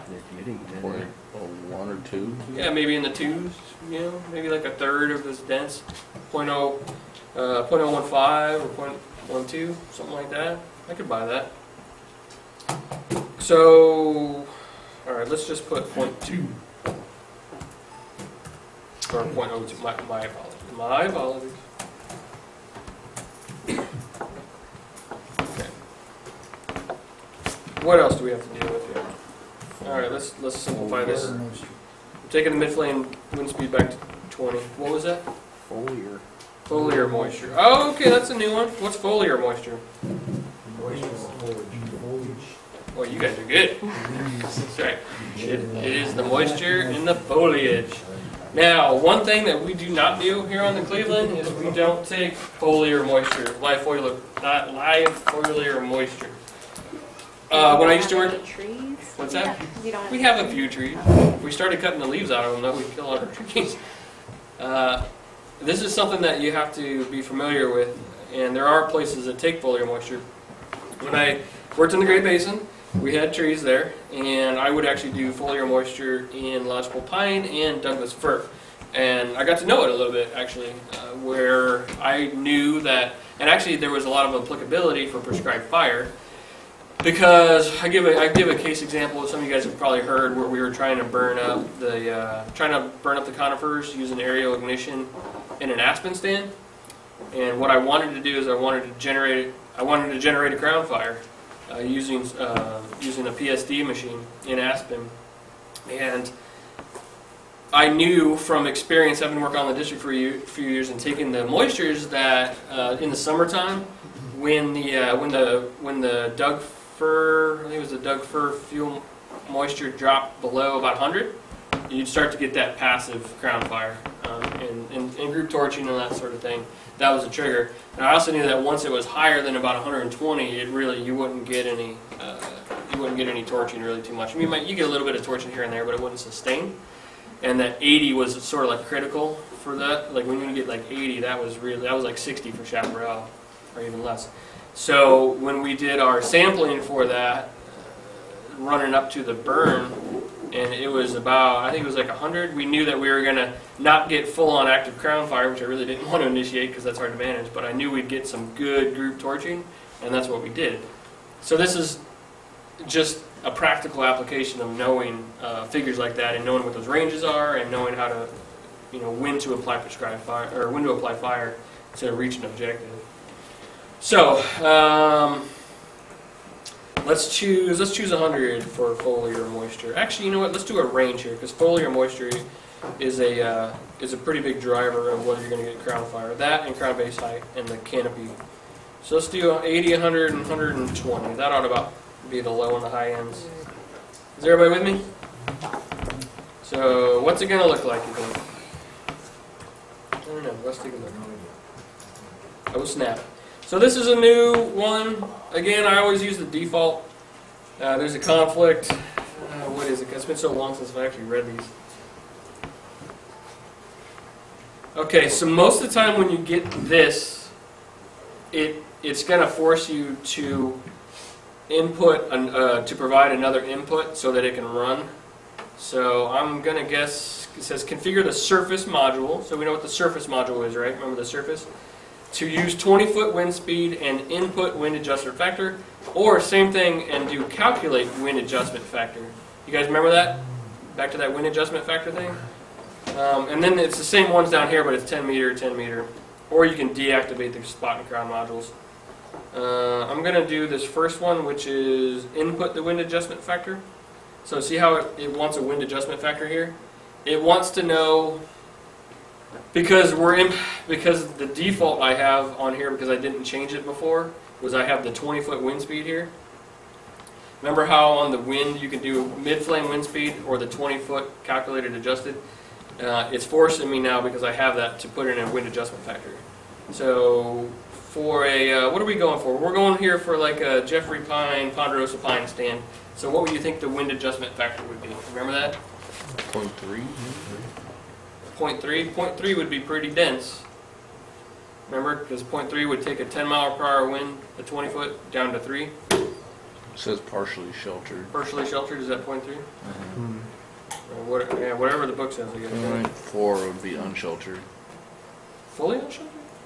Point four is un, and then point five is the most. Yeah, because it really only goes to point five. All right. So what are we saying? Point three? It's kind of in the middle. All right, let's go point three. I like it. Now will it let us, please? All right, yes it will. Okay. So what did it give us? That's interesting. It didn't change.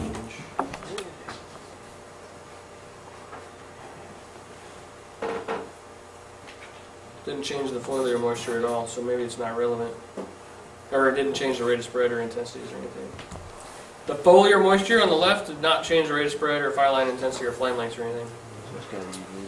Which probably means it's not relevant.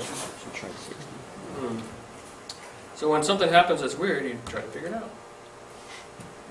Let's see if we got to crown. But, so this is, so we're talking about the crown module right now. We'll come back to this. See how it says, there's, there's a couple things you need to know here. One is this active ratio, and then active crown, and then the fire type. Scroll down and see if there's another one. Yep. So, if I recall correctly, you have to get to, so there's another one too, you have to get to one. And I believe one is the threshold where if you get to 1.0, that's active crown. Okay, now see how it says active crown question mark? And then the fire type is conditional crown. All that really means is that um, depending on the conditions, you're get a crown fire. Uh, and that changes. So let's see if we can go back and, and, and throw our variables out a little bit more here. Maybe see go down to 70. Yeah, let's go let's go 50. Yeah, 50, 60, 120. Let's go to like 150. I'm thinking I might need to change the fuel model. Thinking I might need to change a few more. Let's see. Yeah, it doesn't change any of that. Start playing with it. So this is all active crown. It really wants to get up in the crown. Like it's really happy getting up in the crown here. Even at 150% foliar moisture, that to me is telling me that the foliar moisture is not really driving this too much right now. Something else is at play. Foul play. What's that? Foul play. Hmm, foul play? I don't know about that. You know what? Let's flatten the slope out a little bit. Let's see what happens when we put that down to like five.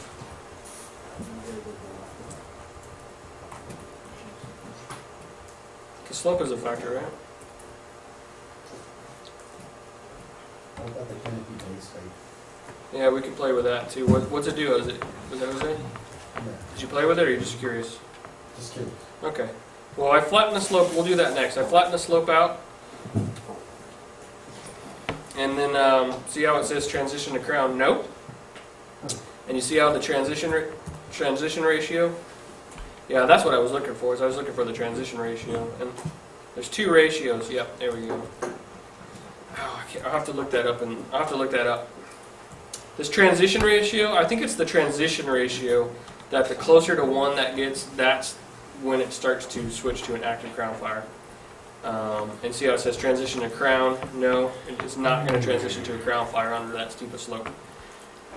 Okay, so we'll come back. We'll come back to what Jose was looking for for the uh, canopy base height. I want to mess with the slope a little bit. I want to do 5, 10, let's do 20, and maybe 30. Because slope definitely affects these things, right? We know that there's much more ability to get a crown fire when you have that slope helping you, because slope works as wind. So let's see what the numbers look like then. So what's that? Doesn't change. Hmm. Okay, man. So you're just grinding through all the all the tables here. Oh.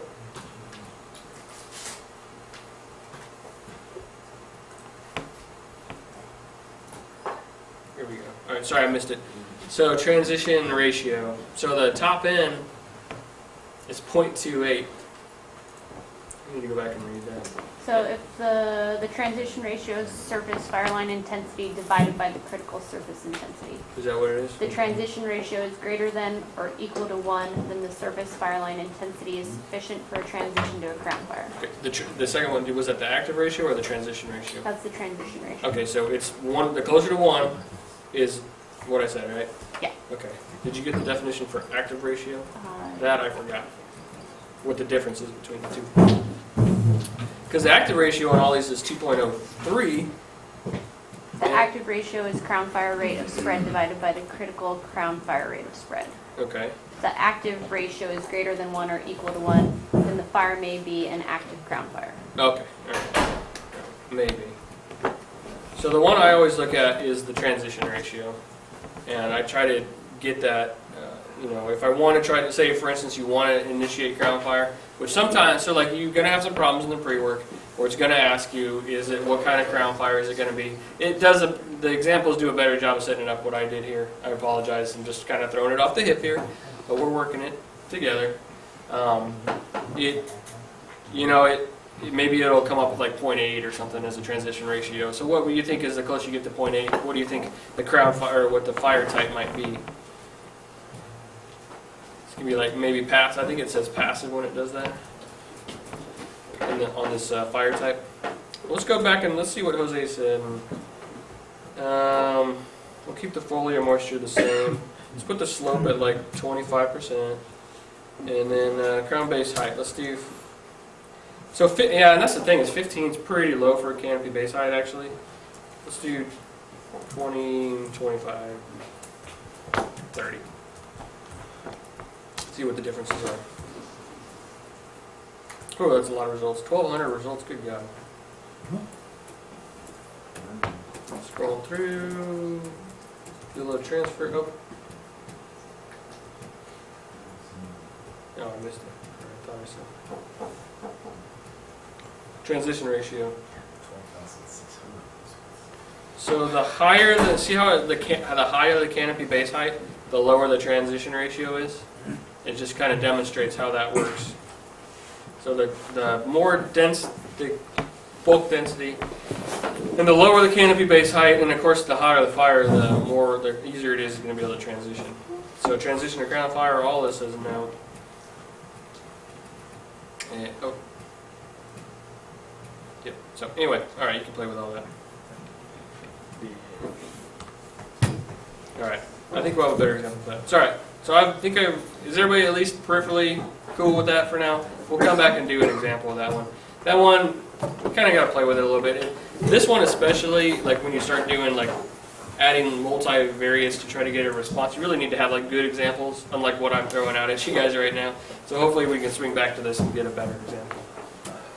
So I'm going to get rid of the crown fire, and uh, we'll click on the safety zone. Check out the options for that. The only options you don't have input options, you only have output options. You have your safety zone separation distance, safety zone safe, safety zone size, and the radius. So I'm going to click on all three as an outputs, and that'll tell me what my output is. So the way you can use this module is if you want to try to determine what size of a safety zone you need. And of course, like this would be something like an FBAN or somebody would do. So I'm going to change the fuel model back to Chaparral because we're all familiar with it.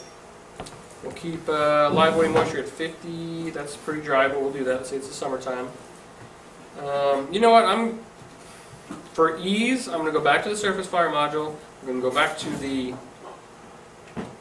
uh, the the wind speed, and I'm going to change it back to mid flame height, just so I'm doing mid flame wind speeds and not having to deal with the calculated. Okay, so that brings our mid flame wind speed back to seven. And you know what? I'm actually going to go back and change this to the uh, the direction thing. To wind is always upslope, and surface fire spread is always only in the direction of maximum spread. So I'm ignoring those two things on the bottom. And that gets rid of the directions. It's always going to be going upslope, okay? Everybody cool with that? All right, perfect. I'm to keep the slope at 25. Oh, that's for my diagram whatever. We'll worry about that. Okay, so the new inputs you give here are suppression, the number of personnel. And I don't, by the way, I don't think these are, this rep, rep um? I don't think this uh, is incorporating the new Finney research that comes out for safety zone sizes. The, it's currently being worked on now. In fact, the fuels tech Wesley Page on this district is, is up in the lab in Missoula right now work, uh, helping to work on this project, which is they're trying to redo these safety zone sizes instead of just like the rule of thumb like we have.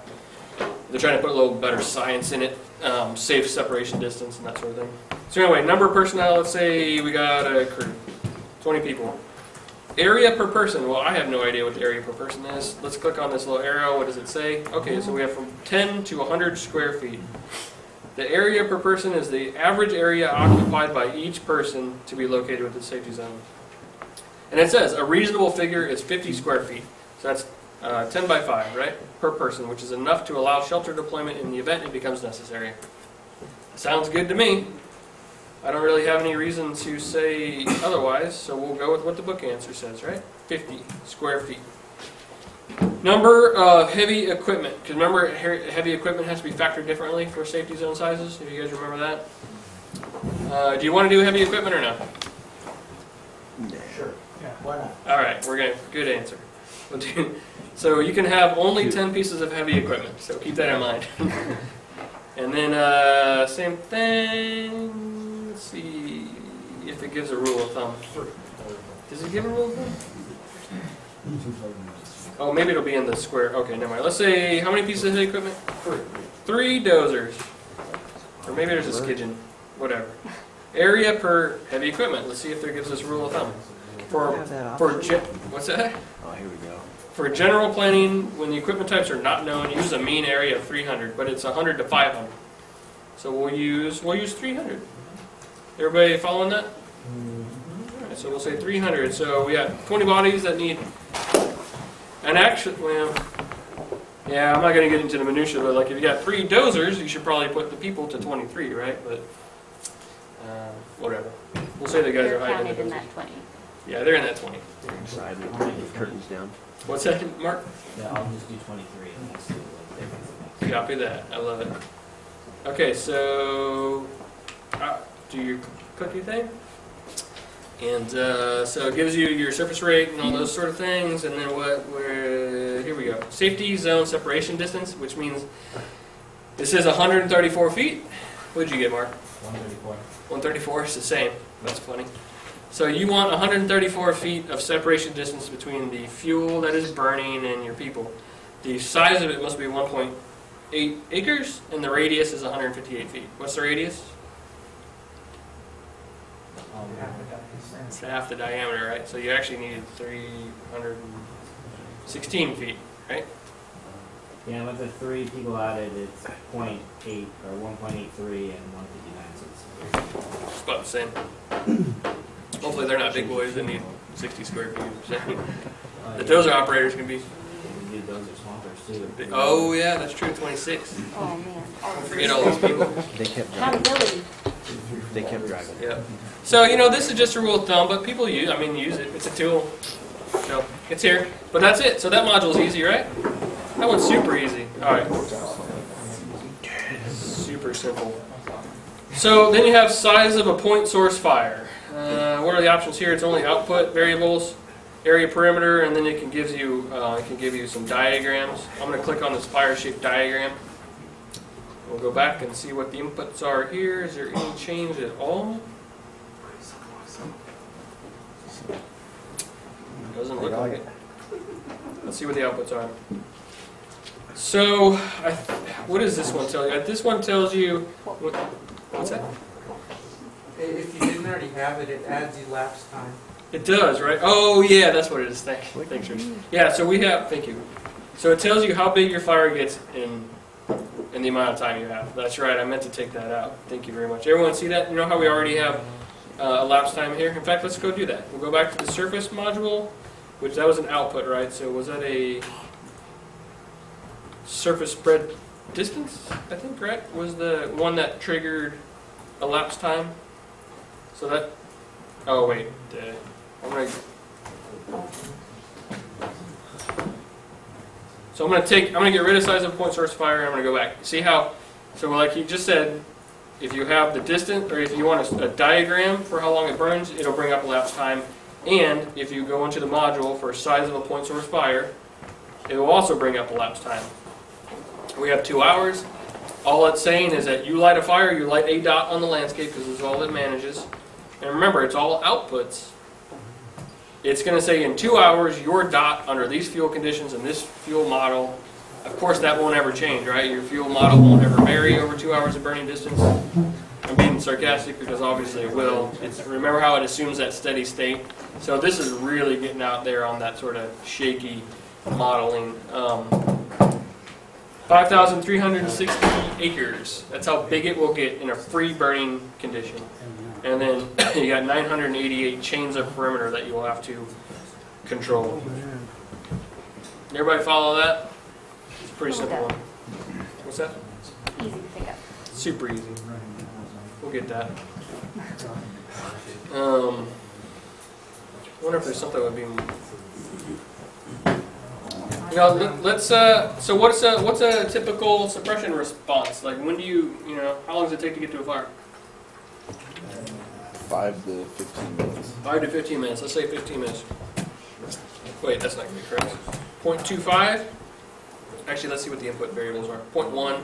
So point one would be six minutes to eight hours, which is a long response time. So point two five would be fifteen minutes. This is something you can do just you know in your backyard. Let's say fuel model four. That's our chaparral. These are the current fuel conditions.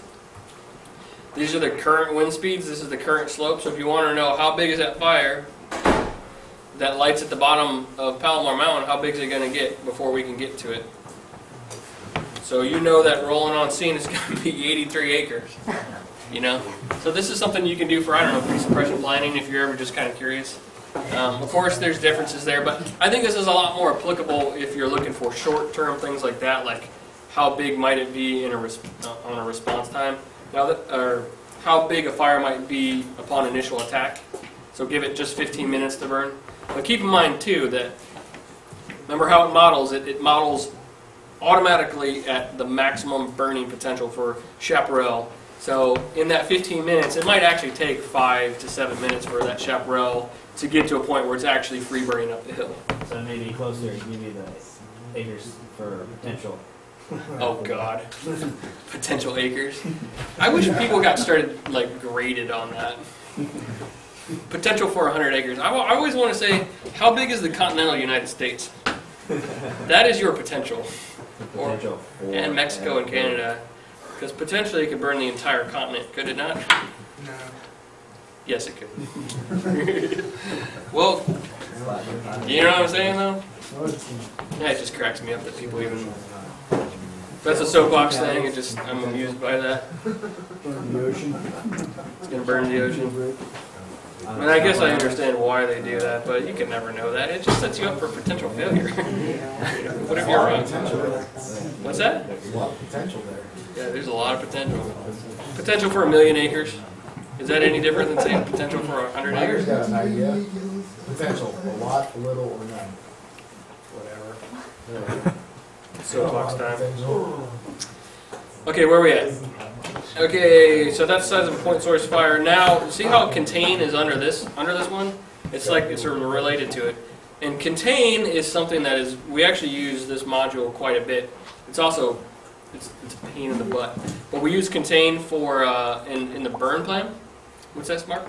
I was gonna say, um, do you guys use it going on a big incident and you know how in the court, so you just, you know, contain the date, so you guys can Hmm. that? You know, you could, but that would be a hellacious model to try to. I think that's more of a wag, to be honest with you. No, the main use, the main place that we use the fire contain module is uh, on a on a in a prescribed burn plan. There's an element which is the um, it's the the holding plan, I guess. And what you have to do is you have to, you know, like most of the time we have prescriptions and they're set up low, moderate, high. And what you do uh, when you look at a burn plan, and on this, it's set it up in it. So, so you have to build your organization to be able to uh, control the fire. On, and what we do is we use this contain module, and I'll show it to you, obviously. But uh, almost inevitably, on a lot of our prescribed burns at the high end, it shows that with the resources that we expect to be on site, we can't control the fire. So it's kind of interesting. So let's go look at the options, of course. We have input options here. And this is actually a pretty important one.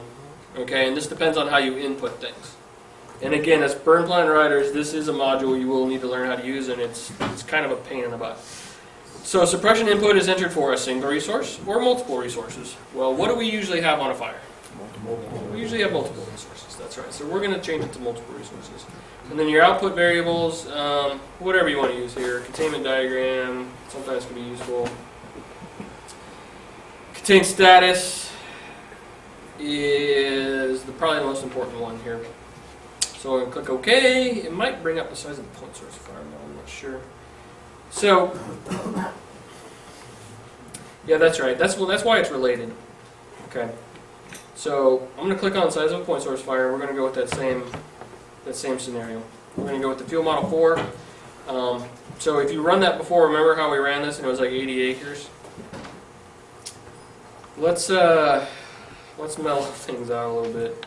Well, now hell, let's go with it. Let's say the initial attack is. Uh, I should say. Oh, I know what it is. I know what it is. So okay, remember what? Did you see how what just happened? Anybody see what just happened? When I clicked on size of a point source, what happened to Jose? No, Oh, I'm trying to figure out what happened. so all right. Let me click. Let me let me take off size of a point source and let's see what is different.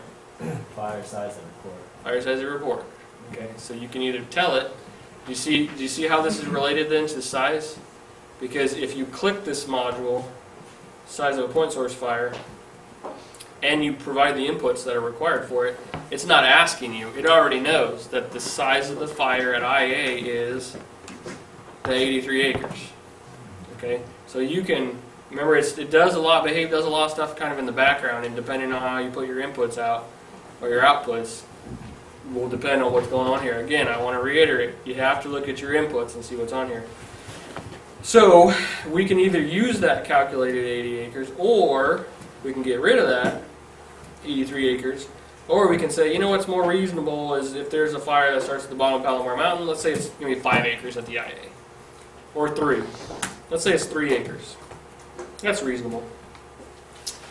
Okay, this is where you need to start understanding this stuff here. Uh, suppression tactic. We all know this. There's head attack or rear attack. Um, this is sort of like Texas versus California.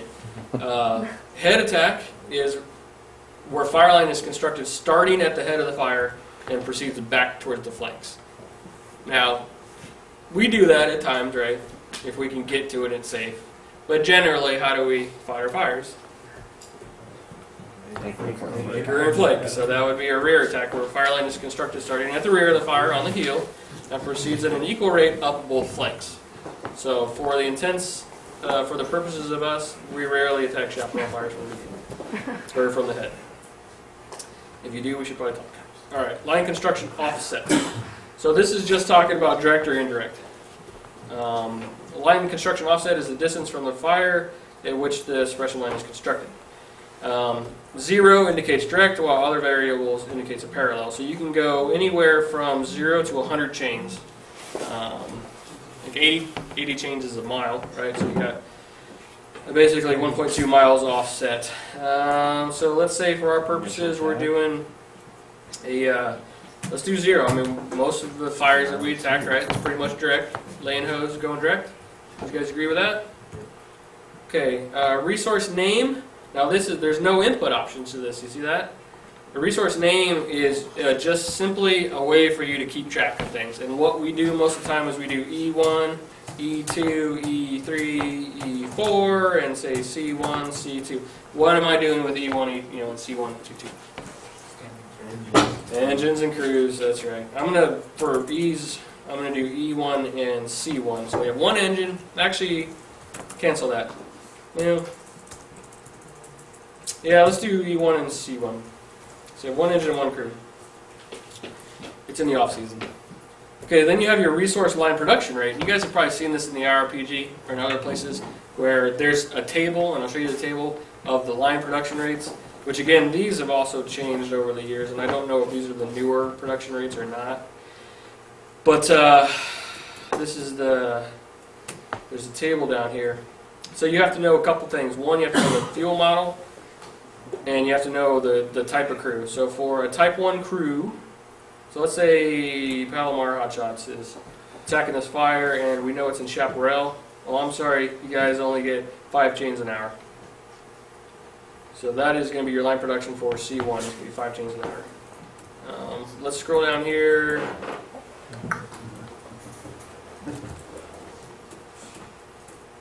Oh, sorry, missed it. Hand crew.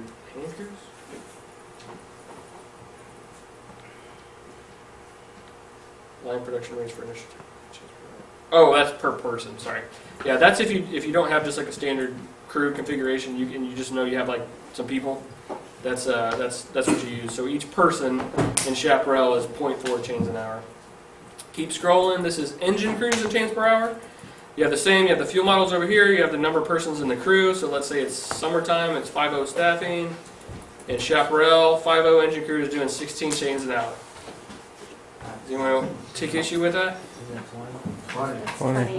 What did I do? Oh, sorry guys. Thank you. Thank you. Chaparral, 20 chains an hour. So what was it for the hot shot?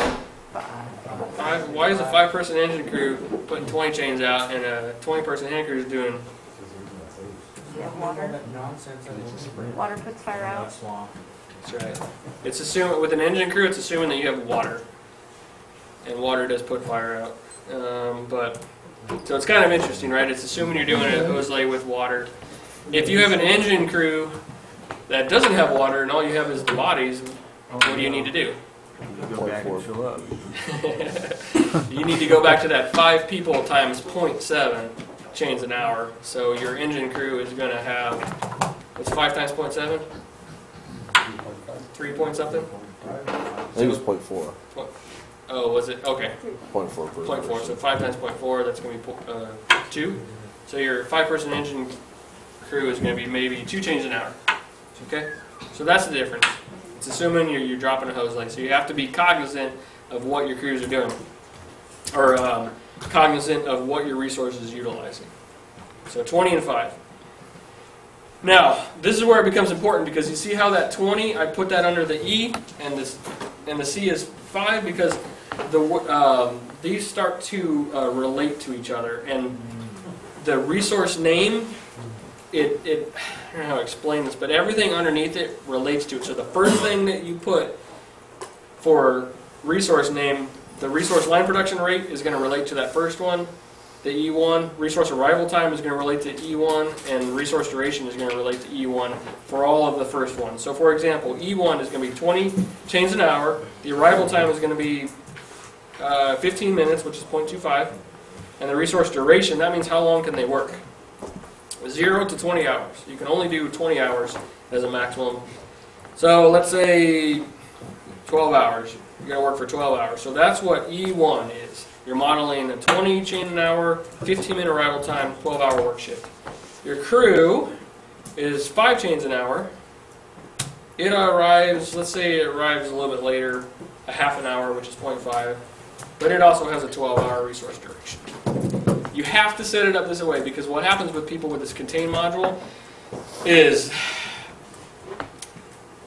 maybe you put three things up in the resource name, but then you just do, oh, well, everyone's going to do 20 chains an hour, everyone's going to do arrival time, everyone's going to do 12 hour, and you only put like one in each one of those boxes, well, it'll crater. So let me show you what that looks like if you do it wrong. And you don't put, like you say, okay, well, I got two resources coming, but, you know, you don't put all the input, it'll say, oh, you didn't, your resource arrival time has one instead of two values as for resource name. So it's saying you have, hey dummy, you got two in the resource name, but you don't have two for everything else. You guys following that? Yes. Okay, cool. So going back to the example properly set up, 25.5, 12, whoop, can't have, gotta have a space. Okay, now it should give you an output. So, this is what your, your outputs look like. Uh, so contain status, that was one of the outputs. Um, withdrawn, what does that mean? What do you think that means? Left before you're done. Yeah, that means, yeah, you gave it your best, but that baby escaped. After 12 hours. Time from report, 12.2 hours. Your contained area is minus one acre. You, you actually did worse than when you started, apparently. But you put in 293 chains in line. That's pretty good. That's pretty good, but 12 hours later, they pulled you off. Um, so what this tells you is that with these, yeah, Mark, go ahead. So just, uh, just real quick for the contain stance, what, what are the options, contained or withdrawn? Those, those are only two. Uh, can't remember what it is. There is con- definitely contained, withdrawn. I think there's another one. I can't remember now what it is. So let's play with it a little bit. Let's. Uh, you know, how can we do this? Shorten your response. First, let's put these out at 20. Let's say you can work 20 full hours, same resources. Well, you put in more lines. Of, all you did was work longer, but you still didn't put the fire out. So then you start stacking it up. It was like, all right, darn it. Well, let's do let's do two more engines. Or Let's do a head attack. nah, we're not gonna do head attack. so we're gonna do 20 and 20. Oh, we're really bringing it to bear. Point five, point five. Let's say they got there. Everyone's working for 20 hours. Okay, now do we put the fire out? Oh, we still didn't put the fire out. It's really hard to put out chaparral fires, right? uh, you put in 1,200 lines of chain. That's like 10 miles. This fire must have got pretty big. Oh, now I'm curious how big the fire got. I'm gonna put this up back up. Size of a point source fire, options, area. I'm gonna run it again. Area 83. Oh, that's this, just at the. oh, Okay, never mind. You need a fire spread diagram. Oh, I'm curious how big the fire got. Oh, I thought it would tell me. Yeah, it would tell me. If I really looked into it. Anyway, blah blah blah.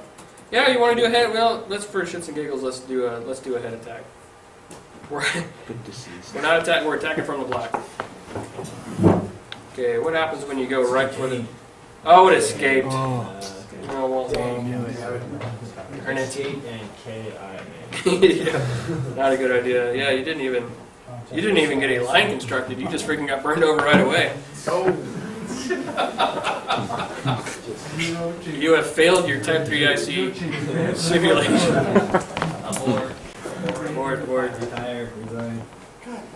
We'll go back to rear.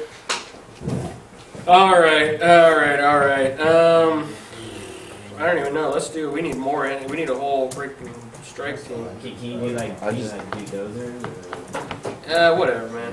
That's too complicated. 20. Yes, you can do those. Yeah, Yes, you can do other line production rates. Uh, all right. So this is where you start to lose track. How many engines? I got one crew, one crew, one, one, one, one. I need more. 20. Do you want, all right, Smarty. Give me a dozer line production rate. Okay.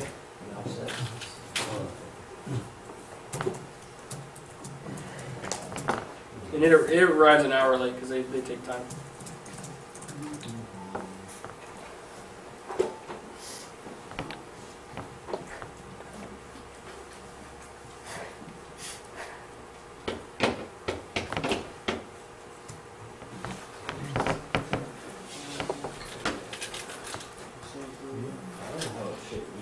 I'm waiting for you. In fact, we're all waiting for you.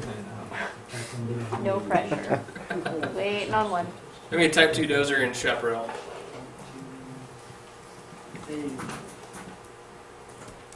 Whoever gives me the answer first gets their shirt right now. Eighty. Ooh, Derek told you. You guys concur with that? Is it 80 chains an hour? Whatever.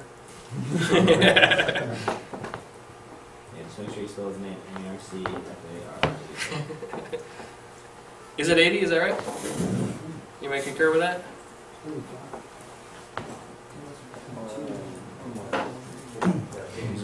Eighty, eight zero. All right, we'll go with it. Eighty chains an hour. Does a mile an hour. All right. If we got all the numbers correct here. Oh. Resource duration, input. Oh, oh crap! I did the wrong thing. My bad. That's resource duration, not line production. Or depends on the slope. The resource arrival time has nine instead of ten values. Okay. What is the slope? Resource arrival time has nine instead of ten values, which means I I didn't put enough people. One more for the bottom too. One more, okay.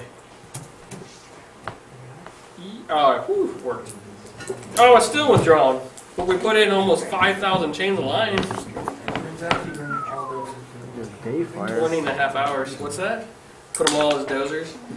So, the cool thing about this contain module is that you almost never win. like, you almost never win. Just want to have a bad day. Yeah. I lowered the wind and raised the fuel moisture. you win. Say it again. You lower the wind and raise the fuel moisture. You win. All right. We're gonna play God Zero. and put zero wind speed, And then ten for the one hour fuel moisture. ten for the one hour, so it's like not even burning. And then you win. Do we win? Hey! Contain. Woo! Good job, boys and girls. 21 acres. That's not bad. But that that was perfect though. You started playing with the inputs. So what you have to do with um, a burn plan is you have to look at your actual limits and like so. Let's say for a typical burn, a prescribed burn, say in the timber, say what three to five engines is available. What do we usually roll up on a burn? Maybe four engines, but it's usually like three of staffing, right? Handful of people, no dozers, um, and that's what and you can also, I mean, you can model your contingency, so you might add a few more engines onto that, maybe a dozer, because there's usually one around. But uh, that's what, so in a prescribed burn plan, you have to show that. Usually on the low end, it'll actually show that you can um, contain the fire. But on the high end, we typically don't. So anyway, that's the contain module. Is everybody cool with that? All right. No? Questions? There has to be a question on that one. No? All right.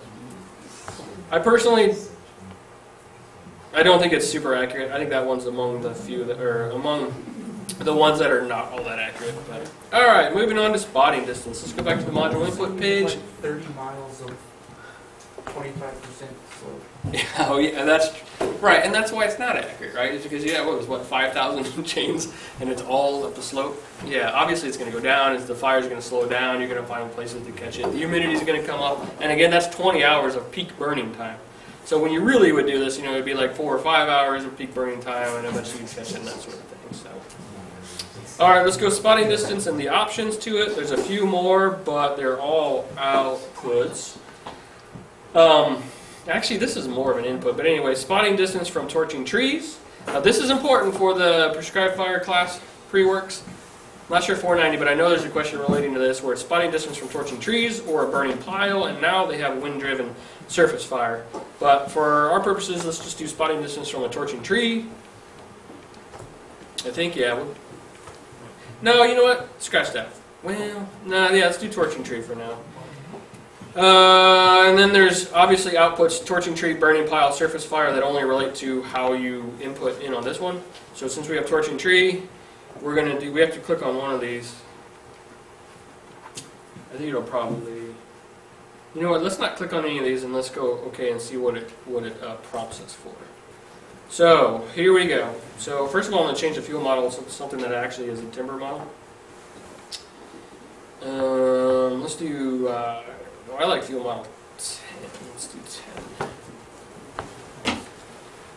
Downwind, downwind canopy height. Oh, here's another term we don't know. What's the downwind canopy height? So, obviously with spotting, most spotting goes with the wind, right?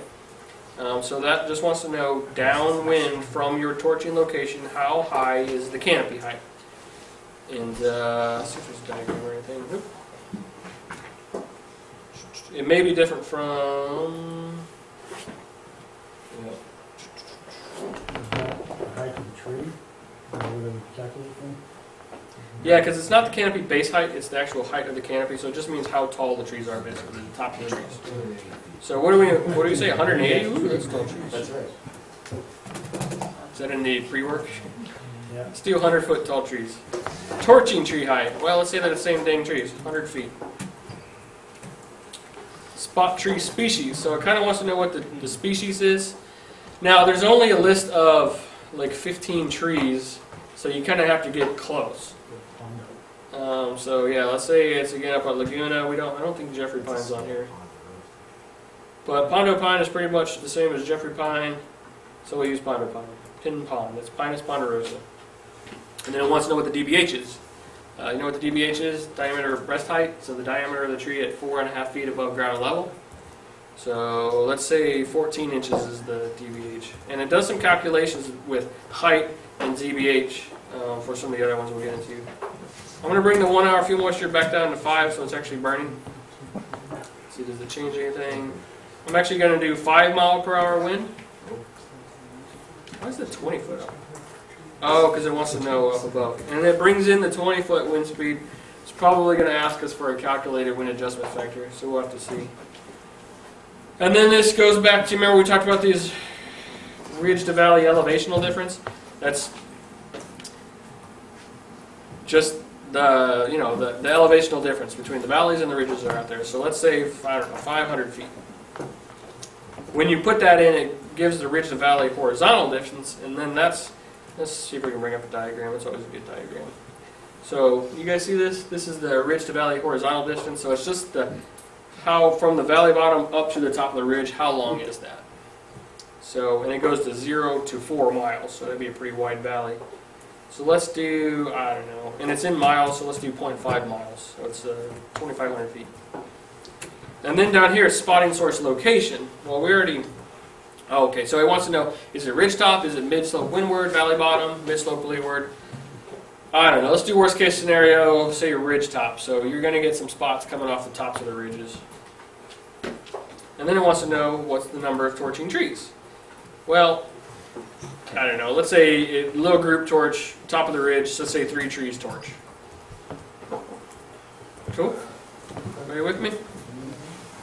All right. What do we do now? We go up here, press the outputs. Okay. So again, remember how it had that 20 foot? Whenever you get into that 20 foot, it wants to know about the wind adjustment factor. So we'll just do the default.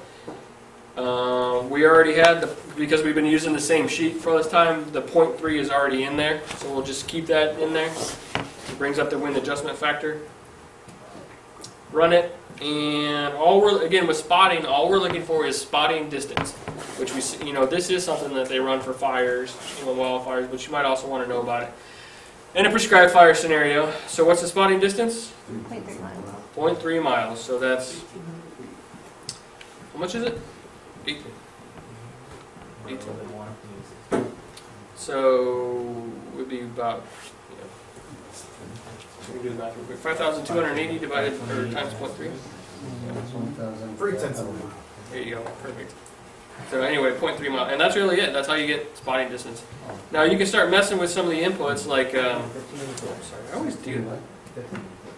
You know, like you can mess with the heights of the trees, the downwind height. So like when you have an example in your pre-work, it should give you all this data. It should give you this information. All you gotta do is plug it in.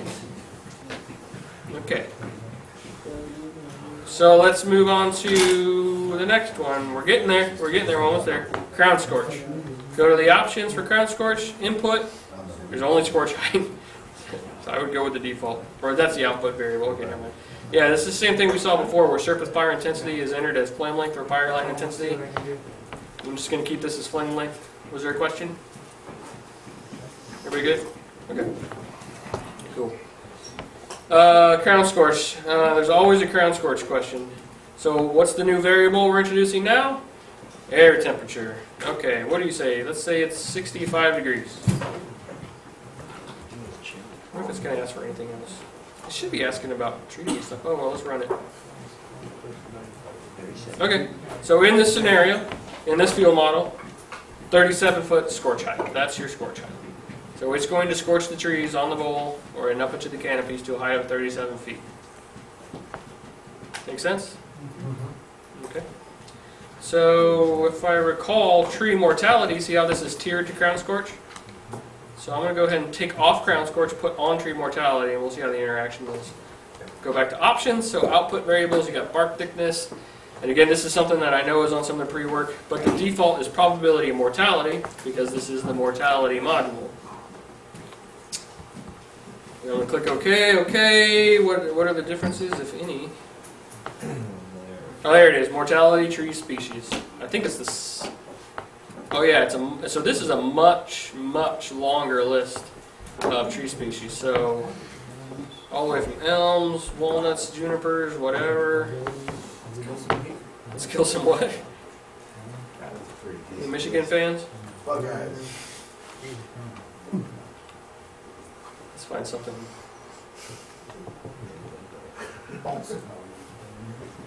Find something sexy around here. Incense cedar. Let's do incense cedar. I mean, you guys do whatever you want. Why is that both on? You, yeah, stay highlighted. Or where did I? Ow. I do not know what azagla is. That's a Buckeye. Is it? Oh, Aesculus. Yeah, that's right. It is. The, that's right. That's right. Thank you. All right, I'm already tired of this module.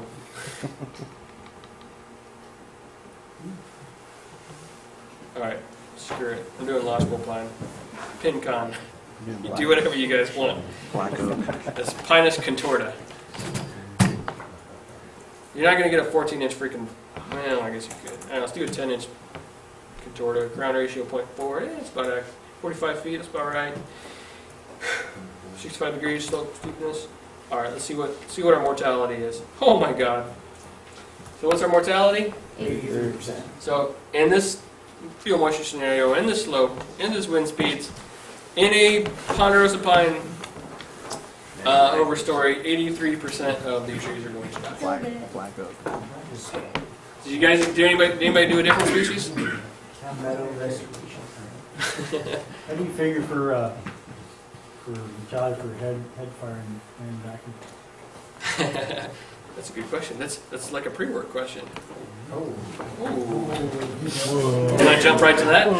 So if you were going to do that, what you might do is, uh, well, I don't know. Someone tell me how you gonna do that. You want to know head fire, backfire. What do we? How do we get to head fire and backfire before? Two different, be two different equations. Wind adjustment. Where was that? Direction. Back in the directions tab under surface, right? Surface fire spread direction is in direction specified on the worksheet. I'm gonna keep the wind as upslope, I think, because I'm not sure what the thing is. So this brings up that thing that we saw before, which is spread direction from upslope. So yeah, it'll be what zero or 180. Click on that. And what are we? What did you want to know, Eddie? Uh, mortality, right? Backing, backing and, uh, So zero is your head fire. 180 is your backing fire, right? See right here? Well, that's for head fire, it's 83, because that's what we had before. Because remember the way we had our model set up? Is we always have it set up for head fire. That's the default. But we put in 180 on that surface spread direction, and so it brought up backing fire. Um, let's. I want to go back up and look at the uh, first output.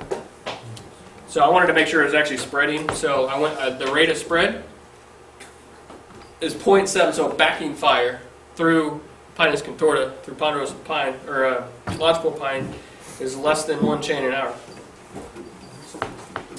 1.8 flame length. So it, it hasn't reached. There's a threshold associated with every single one of these trees that it has to get to a sufficient fire line intensity and/or correlated flame length to kill the tree. Make sense? In this case, it's, it hasn't reached it. Let's see. I don't know, what can we mess with? Let's mess with the air. temperature. Let's say it's 90 degrees outside. Let's just mess with one of these factors. Is there going to be a change? Nope, rate of spread and all this stuff doesn't change. Does mortality change? Well, it goes up on the head fire. You're going to have a new off stand, but it's still not enough to back it through. So anyway, does that answer your question there? It doesn't. That doesn't answer your question. Yeah, zero, one eighty. It should. Fire, ninety-nine percent mortality. I got lost in the steps. Backward. All right. Continue. So uh, I'll break it down. So the steps. Module selection. You go back to surface fire spread. You go back to the directions. Remember we talked about the directions? The default, the surface fire spread direction, the way the fire is going to spread, the default is only in the direction of maximum spread, so it's with the wind. Okay? A backing fire usually is against the wind or against the slope or whatever. So what I changed that to is in direction specified on the worksheet. See that change right there? Right here? So when I did that, I pressed OK. I went back to here, pressed OK, and it brought up this down here, which is the spread direction from upslope. So we'll go back to the, uh, the figure here. So the spread direction for zero is upslope. Spread direction anti-upslope or downslope or whatever, backing would be 180. So that's why I put in zero. And, yeah, that's a new term. Come on, if you hear it. Would be 180. So that's giving you a, a head fire straight up slope and a back and fire straight down slope. So that's a head fire and a backing fire. Do you understand? Are you sure? That's why we're here, man. That's why we're here. I do not want you to lose, and that's that's something that's this is pretty important that you understand that concept. How to go back to that. Okay. Now where were we? And we're trying to get some partial mortality in that lodge. Oh, I know what we need. I'm going to reduce the air temperature back to 65. Let's crank up the winds. One. Oh, it only goes to forty. It only goes to 80, actually. Oh. Let's do a 40 mile per hour wind. It's, it's gonna rip. What are we on? What are we on? Yeah. Okay, we're still doing. Well, let's go back. All right, that's a good question. What are we on? We're on surface fire, and we're on tree mortality. I went rogue for a while. Did you go off into the into the Neverland? We're trying to kill lodgepole pine, which is Pinus contorta pincon. Air temperature 65, slope 25. We're doing back and heading, and I just increased the wind speed to a completely unreasonable 40 miles per hour. We're gonna run it. Oh, this ain't good. What I'm trying to do, I can't get I can't get a backing fire mortality. So apparently, if it backs against a 40 mile per hour, that is that is down. I wonder if it, you know, I wonder if I reduced the wind speed. I wonder if that would do it. What if it was like zero? No wind. It should be sitting in bacon, right? Oh yeah, well the mortality went down all the way either way. So I guess it needs wind. Again, it's a model. This is just playing with it. Anybody want me to do anything different with this? Alright. Just gotta play with it, man. Just gotta play with it. Alright, so tree mortality. That's mortality. And now we have the pig. Probably ignition. This is the last one. Output variables, probability of ignition from a firebrand, or prob, prob and they just they added probability of ignition from lightning, which is pretty cool. What could you do with probability of ignition from lightning? You could put in like the weather variables from like observed weather and Yeah. Actual real yeah. inputs. If you're a, a bored whatever person that wants to do this, I know you guys want to do this. You're like, if I'm going to get lightning, and then you have to count the number of lightning strikes Uh, that started a fire versus the number of lightning strikes that didn't. But you could probably do that if you really wanted to. Okay, so what do we got for? Okay, so fuel shading from the sun. What's in that same canopy? We, uh, this is a. Is it still at Pincon? Oh, it doesn't care about that anymore. All right, perfect. Oh God, lightning and you know what? I'm punky. I'm getting rid of the lightning because that's that's dumb. We're gonna do from a firebrand. We're we're lighting a fire. We want to know what the pig is. Okay, that made it a lot easier. Fuel shading from the sun. What's the zero to 100? I'm assuming. Yep. So let's say it's a 50% shaded canopy. Oh, that was the only input I wanted. Sweet. It already has some of this other stuff. Let's, oh, probably let's let's give it some wind. Let's give it five mile per hour. Yes. Okay. All right. Come on, come on. Firebrand ignition. Both uh, heading and backing fire. What's our pig? Sixty percent. So much easier than doing the fine dead fuel moisture calculations and all that. So you just have to carry around your computer in the field while you're doing it. Cool. All right, do we need a little break before we get into some examples or round back? Riley? Yeah. Questions? Uh, yeah, question. So after you do your run, uh, what's the preferred way to save, save your, Okay. You know what? I'll handle that one after the break. Yeah. That's a good question. All right, let's take uh, 5 10. Hold on your phone. That's actually probably easy. All right, we got through it. Good job, team. Yeah, 'cause you save it as a worksheet, it'll save all, the way you set it up. You save it as a run, it'll just save the run, right? See in the office. Uh, you know what? I should probably go back and review.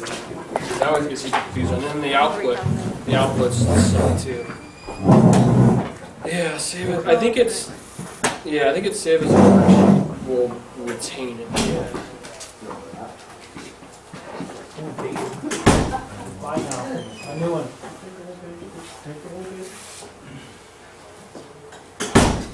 Basically, you want to save it as a run or save it as a worksheet?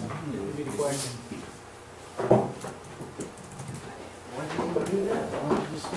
Let's try it.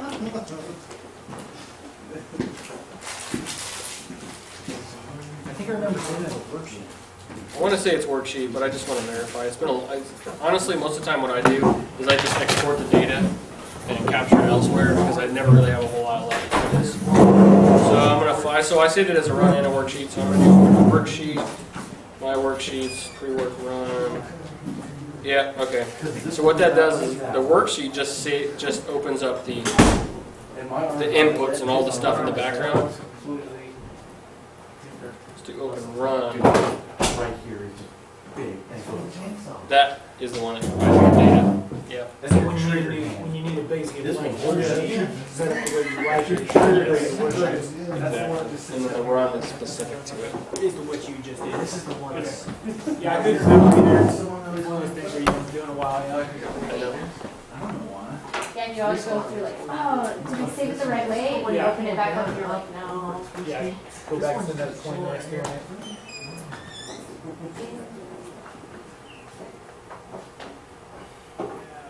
What I was making sense. So what you explains it.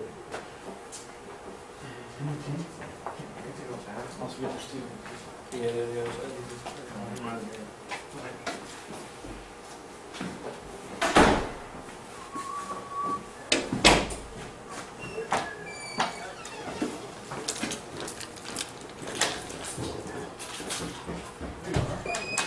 Oh, here I am. Here you are. You're hiding in the bathroom. Yeah.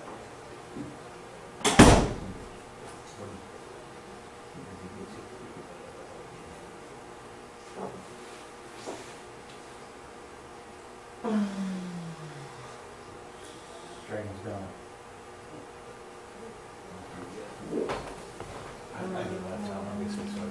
I just, I just made mine real quick.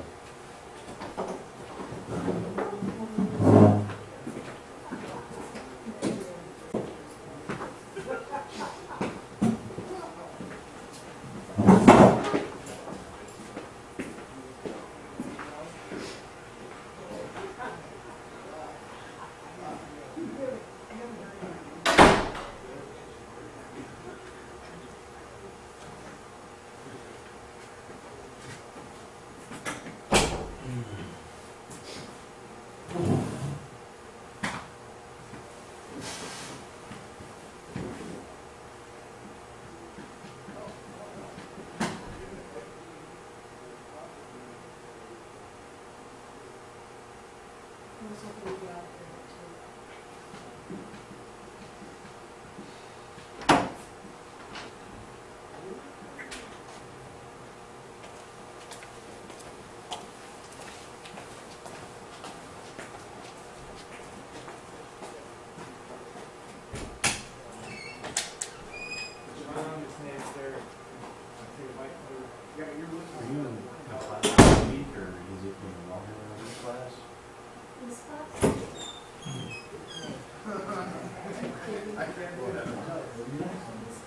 Not, not.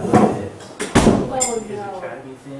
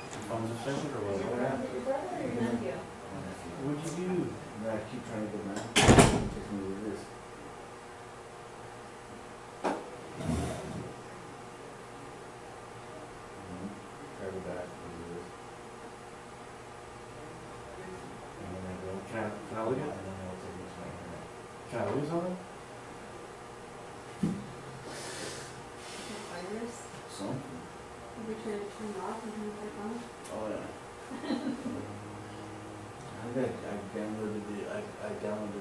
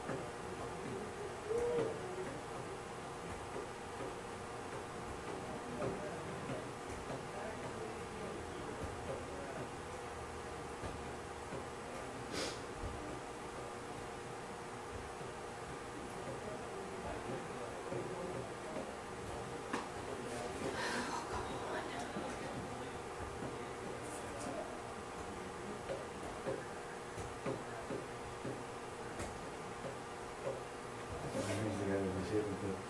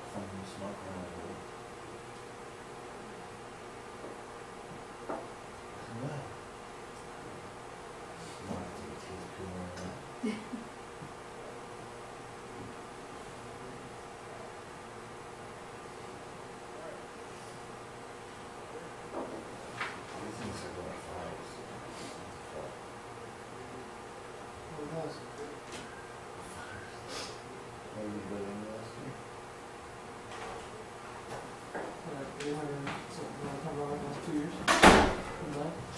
Combined? Yeah. Maybe it's over there. Then you had four in two years. It didn't really well. Oh, yeah. I missed so many fire. I took so many of them.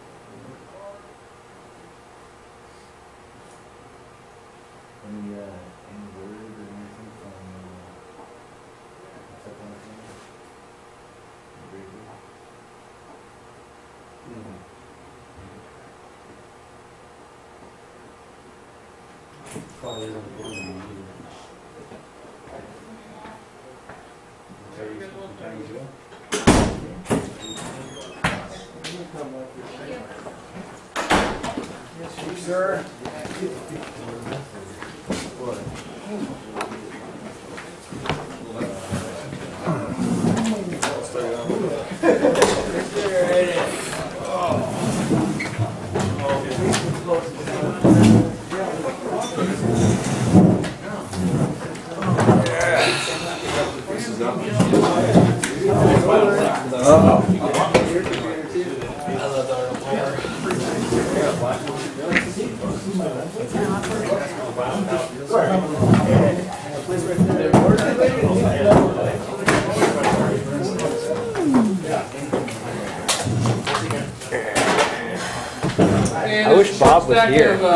10XP's over here.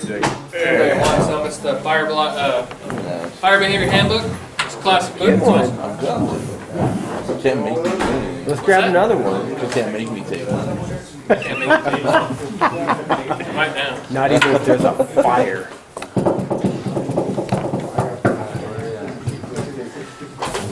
Okay. Big hit they were. All right. So the the question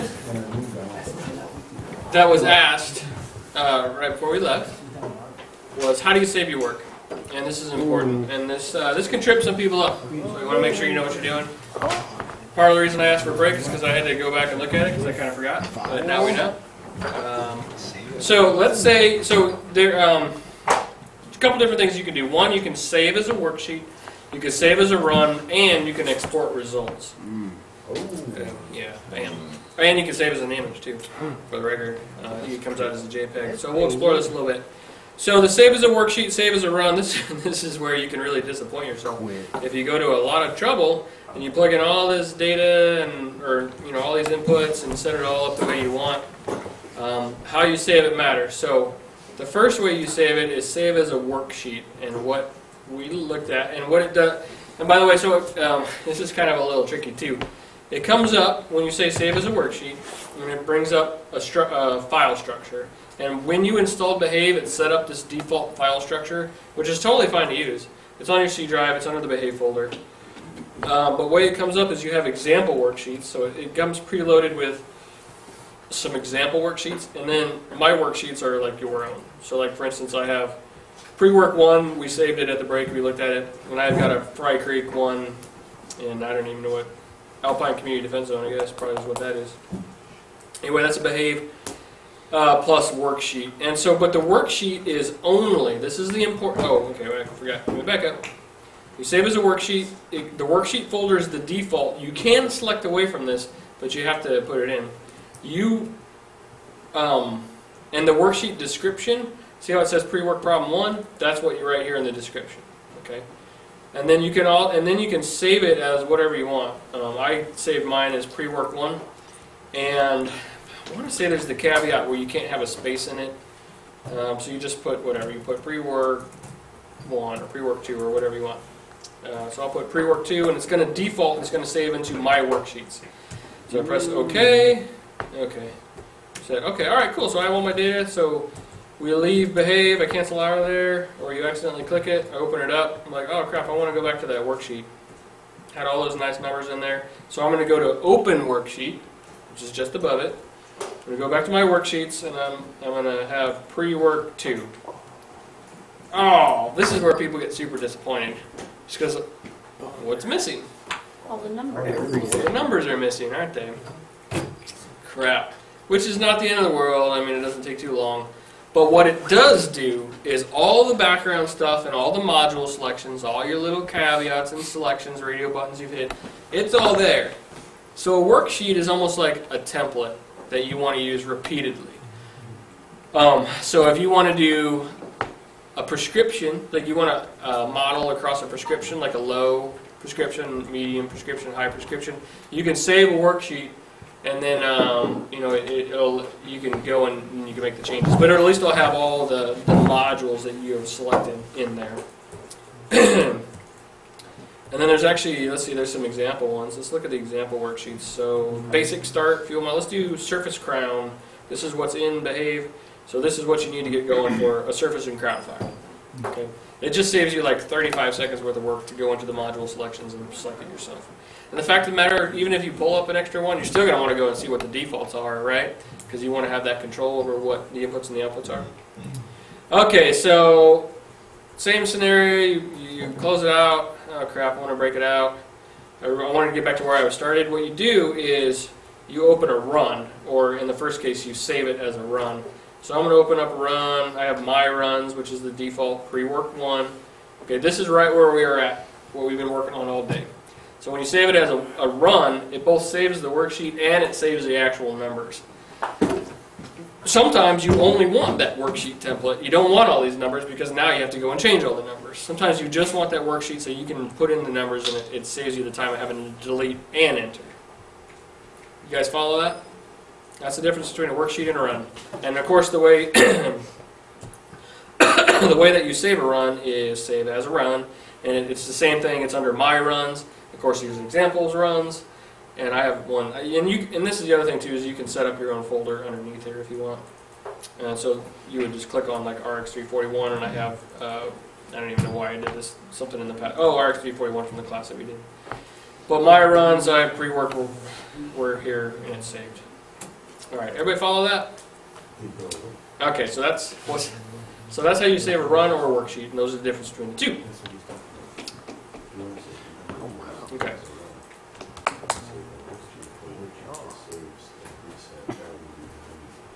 Any questions on that? Okay. So then we get into the exporting results because this, like when you when you do the results, these aren't these aren't super helpful for pulling into a, a burn plan. I, mean, I guess you, you can't even like copy. You can't like you know select that or anything. So it has to be in a format. Uh, so you go back up here. You go. Let's start exploring with this. It's been a little while since I did this. So first of all, I think you could save as an image, which I think, yeah, is it bitmap? You can change it to a bitmap or a JPEG. This would be a screen capture. Oh. Ah, what the heck? Let's see what it looks like. Capture file. Let's do pre-work one. We'll keep it as a JPEG. Put it under captures folder. My screen captures. Press OK. All right, I'm going to show you the root structure. Go back to the C drive, and you go behave is pulls up under the C drive. Exports. Uh, oh wait, you know what? It might actually be over here. Yeah. Sorry, it's been a little while, so I'm looking for it right now. Yeah, here it is. Okay, so you go to behave plus five, and we'll come to this exports one in a minute. Go behave plus five, default data folder, and it should have. Where's the screen? Oh, it doesn't have the screen. Ah, Maybe it's oh Capture capture folder. Yeah, my screen captures. Pre-work one is right here. However, all this does is that it's it's a screen capture, so whatever the screen is, so you would have to do one of these for each one of those uh, output screens. Now, if it's a simple output screen, that's no big deal, and you could do it this way, uh, but it really is just a screen capture. So, but what's really more useful is when you actually can um, capture the data, the data itself. And see if I can remember how to do this. Uh, I like to go to export results, to export results. And then the default is HTML. I know I've gotten this to behave before. I think what I do is I go to export results. I'll give it a file name. Again, this is under the uh, exports folder. I'm going to give it pre-work one, which is going to be prework1.html. That's a internet-based um, output file. So press save. Uh, it says, that's right. So it says it saved it, and then there's a note that says you can open this file using Excel and subsequently save it as an Excel file using Save As. So let's see if we can do that. So press OK. I'm going back to that C drive, the Behave folder. Uh, I think it's under Exports.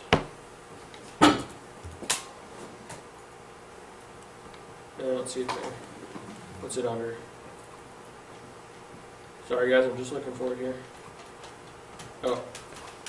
Yep, there it is. Okay, so it's actually under behave plus 5. I must have created that other folder at some point. In the default data folder, export folder, and then there's the pre-work one HTML. So I'm going to click on it, and I think it'll just bring it up as a, see how it brought up the Internet Explorer browser? Um, I, let's see if we can save as an Excel file here. No, not like that. I think you might have to try to open it with Excel. It- Somebody jump in on here. This is where I start to get fuzzy because I haven't done this in a while. Open with. right Oh. You want to do open with? Yeah, that's what I was thinking. See if it'll work. so I'm going to Microsoft Office, Office 14. Yeah, that isn't going to work. Hmm.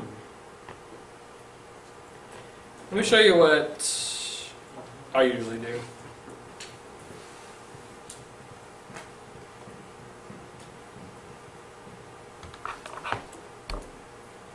It's kind of so. This is one of the problems that people always always get with this. Is it's hard. It's actually hard to get the data. I think most of the time, what I end up doing is I ended up just saving it all, doing copying it. So like you know, right click, copy. I think I end up going to Excel and dumping it in. I want to see if this works. Yeah. So you can do that, and uh, it's not too bad. But what you end up having to do is you end up having to work with it to make it look good, and it's kind of a pain. Um, so what I, I actually have, and again, this is just me, is I have a couple of these. I built Excel templates for this, where I end up dumping the data in, and then I end up just working with it for an hour whatever. And you dump in the stuff. You know, you have to work with the columns and the rows and make it look all pretty. But if you work with, you know, it's just like any other Excel document. If you work with it, you can whip it into shape and make it actually look pretty decent. So to be honest with you, this is what I have always done, and I've actually made. I think I've made it look pretty good. Anybody figure out how to do that? Like I've never figured out how to save it as and then open it with Excel. I just, I, when I did the 301, I, I printed it, um, and it prints it in a fairly decent format, and then mm-hmm. I just faxed it in. You just have to kind of tender it because once you, when you try to fax like 20 pages in, like it'll get jammed halfway through, so I just kept calling Lady to make sure they went in. Copy, copy that. Um, so in a burn plan, though, I mean, what you want to do is you want to try to reduce the number of pages you have, and so that's why I take the time. Mm-hmm. I mean, what you're saying is totally legitimate. You literally just print out the ex, the, the results, like back in Behave, you can just print those results. Mm-hmm. That's fine, but for the purposes of prescribed fire burn plan, you know, you want it, you don't want it to be, you don't want to do that if you can help it. You want to try to get the data, and this is one way. So just to review, what you do is you go back um, to the actual HTML file, and then what I do is I just literally just pull it, copy and paste it, and for some reason, when you dump it into an Excel file, file, copy and paste, it it puts it in the cat, it puts it in uh, rows and columns, and again, you can just kind of work with it. You know, like make the I want to make this be in the middle and that sort of thing. So with just a little, I mean, look, I did like two minutes worth of work and it already looks better, right? So, and you can do that across sheets. That's the best advice I got for you for exporting. That's the one big weakness of this is that it needs a tab to just export it directly to, into Excel or some other spreadsheet, but for some reason it doesn't. Whatever. It's a government product. Clear? Cool? Questions? All right. Any questions at this point? Okay. So, what I would say is that this is probably a point in this class where I have explained behave nuts and bolts about as far as you can explain it. So, hopefully, you know, hopefully you have some questions, but hopefully you understand a little bit of the background of the inputs, the outputs. You feel that you can actually go in and maybe manipulate some of these things. If you have inputs, you know, you can uh, start to manipulate these worksheets and get some outputs and start making some reasonable assumptions. So that's where I feel like the class is at. So what I would say is that if you need to go, at this point, I would say you pass the class. Make sense? So we have reached the point of certificate in my mind. I know some people have things to do and I don't want to keep you too long. Um, at this point, if you stay any longer, you're completely on your own. Or what I mean is that you're staying here because you want to stay here. But you don't have to, and if you pick up and leave right now, that's totally cool with me. You've met the purposes of this class. Am I making myself clear? Mm-hmm. All right. So what the only thing we'll do now is we'll start to get into some examples. And so at this point, all we're going to do is, is play with behave. I have explained it as much as I can explain it. Cool? All right. I'm going to give you guys a minute if anybody wants to pack up and leave. You're back. I don't care. You good? I feel pretty good. I do too. You want to do some examples, or you want to do our pre-work at the station? I think good, everybody else here is asking questions. Most Yeah. of Rick even knows how to do it. Yeah. Troy knows how to do it. Clint said he would help me out too. Yeah. Like he remembers. We have it all here. I just need to do my pre-work like, in a couple days. Yeah. You know what I mean? Yeah. Cause like, I could go over this. Might as well just figure it out. Yeah. Before I come back down here? Sorry.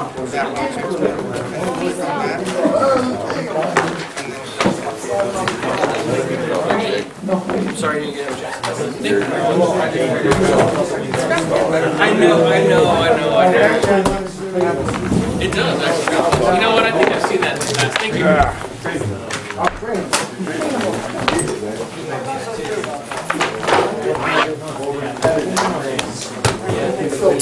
Thank you. All right, those of you who are leaving, get out of here by three, and at three, we'll uh, start in with the pre-works and other stuff. You guys take it on? Thanks, guys. Thank you. Oh yeah, it was really good. We'll get you certs and everything. It's just, I, like you said, you gotta kind of play with it, so. You got to play. For my individual presentation, hear about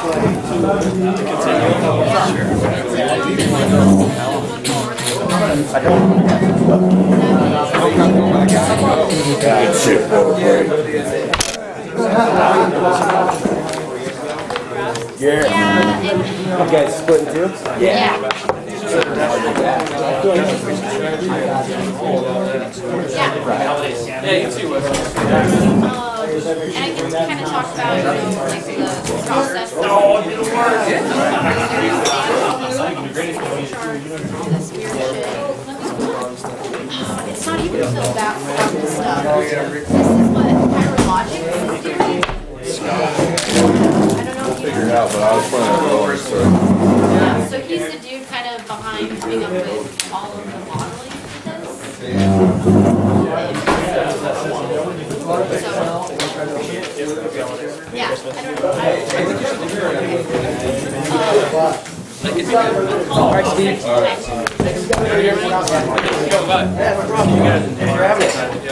Yeah, if I can pull enough information that I feel comfortable explaining this.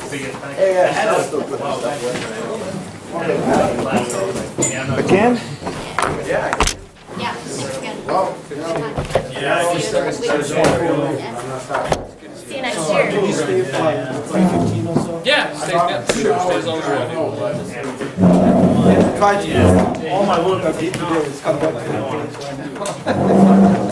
Did you save it as a run? Save it as a run. Try to do that. Wait, As we mess with it, try to save it as a run. Okay. And then try to open it back up. So like you said, you do. I just want to make sure I get it. Yeah, I just have them.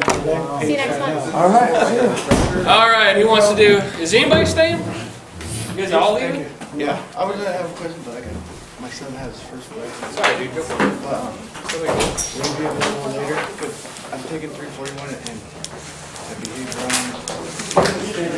You know how to. Just call me, just call me. Either come down if you want, or we can do it over the phone. I've done it over the phone. It's the, you know, same thing, live dead. Just call me sometime, We're back on January fourth. Yeah, by the time we. I'm gonna be back after that. And then I don't know how long. Bang my head in that. Fill up here, but I, yeah. We get it solved. It won't change anything. I'm gonna send an email out. Let me know if you need we. Oh, man. I, I did it with the insurance, that it wouldn't change Usually, I haven't anything. been, I haven't been shiny I've been busy.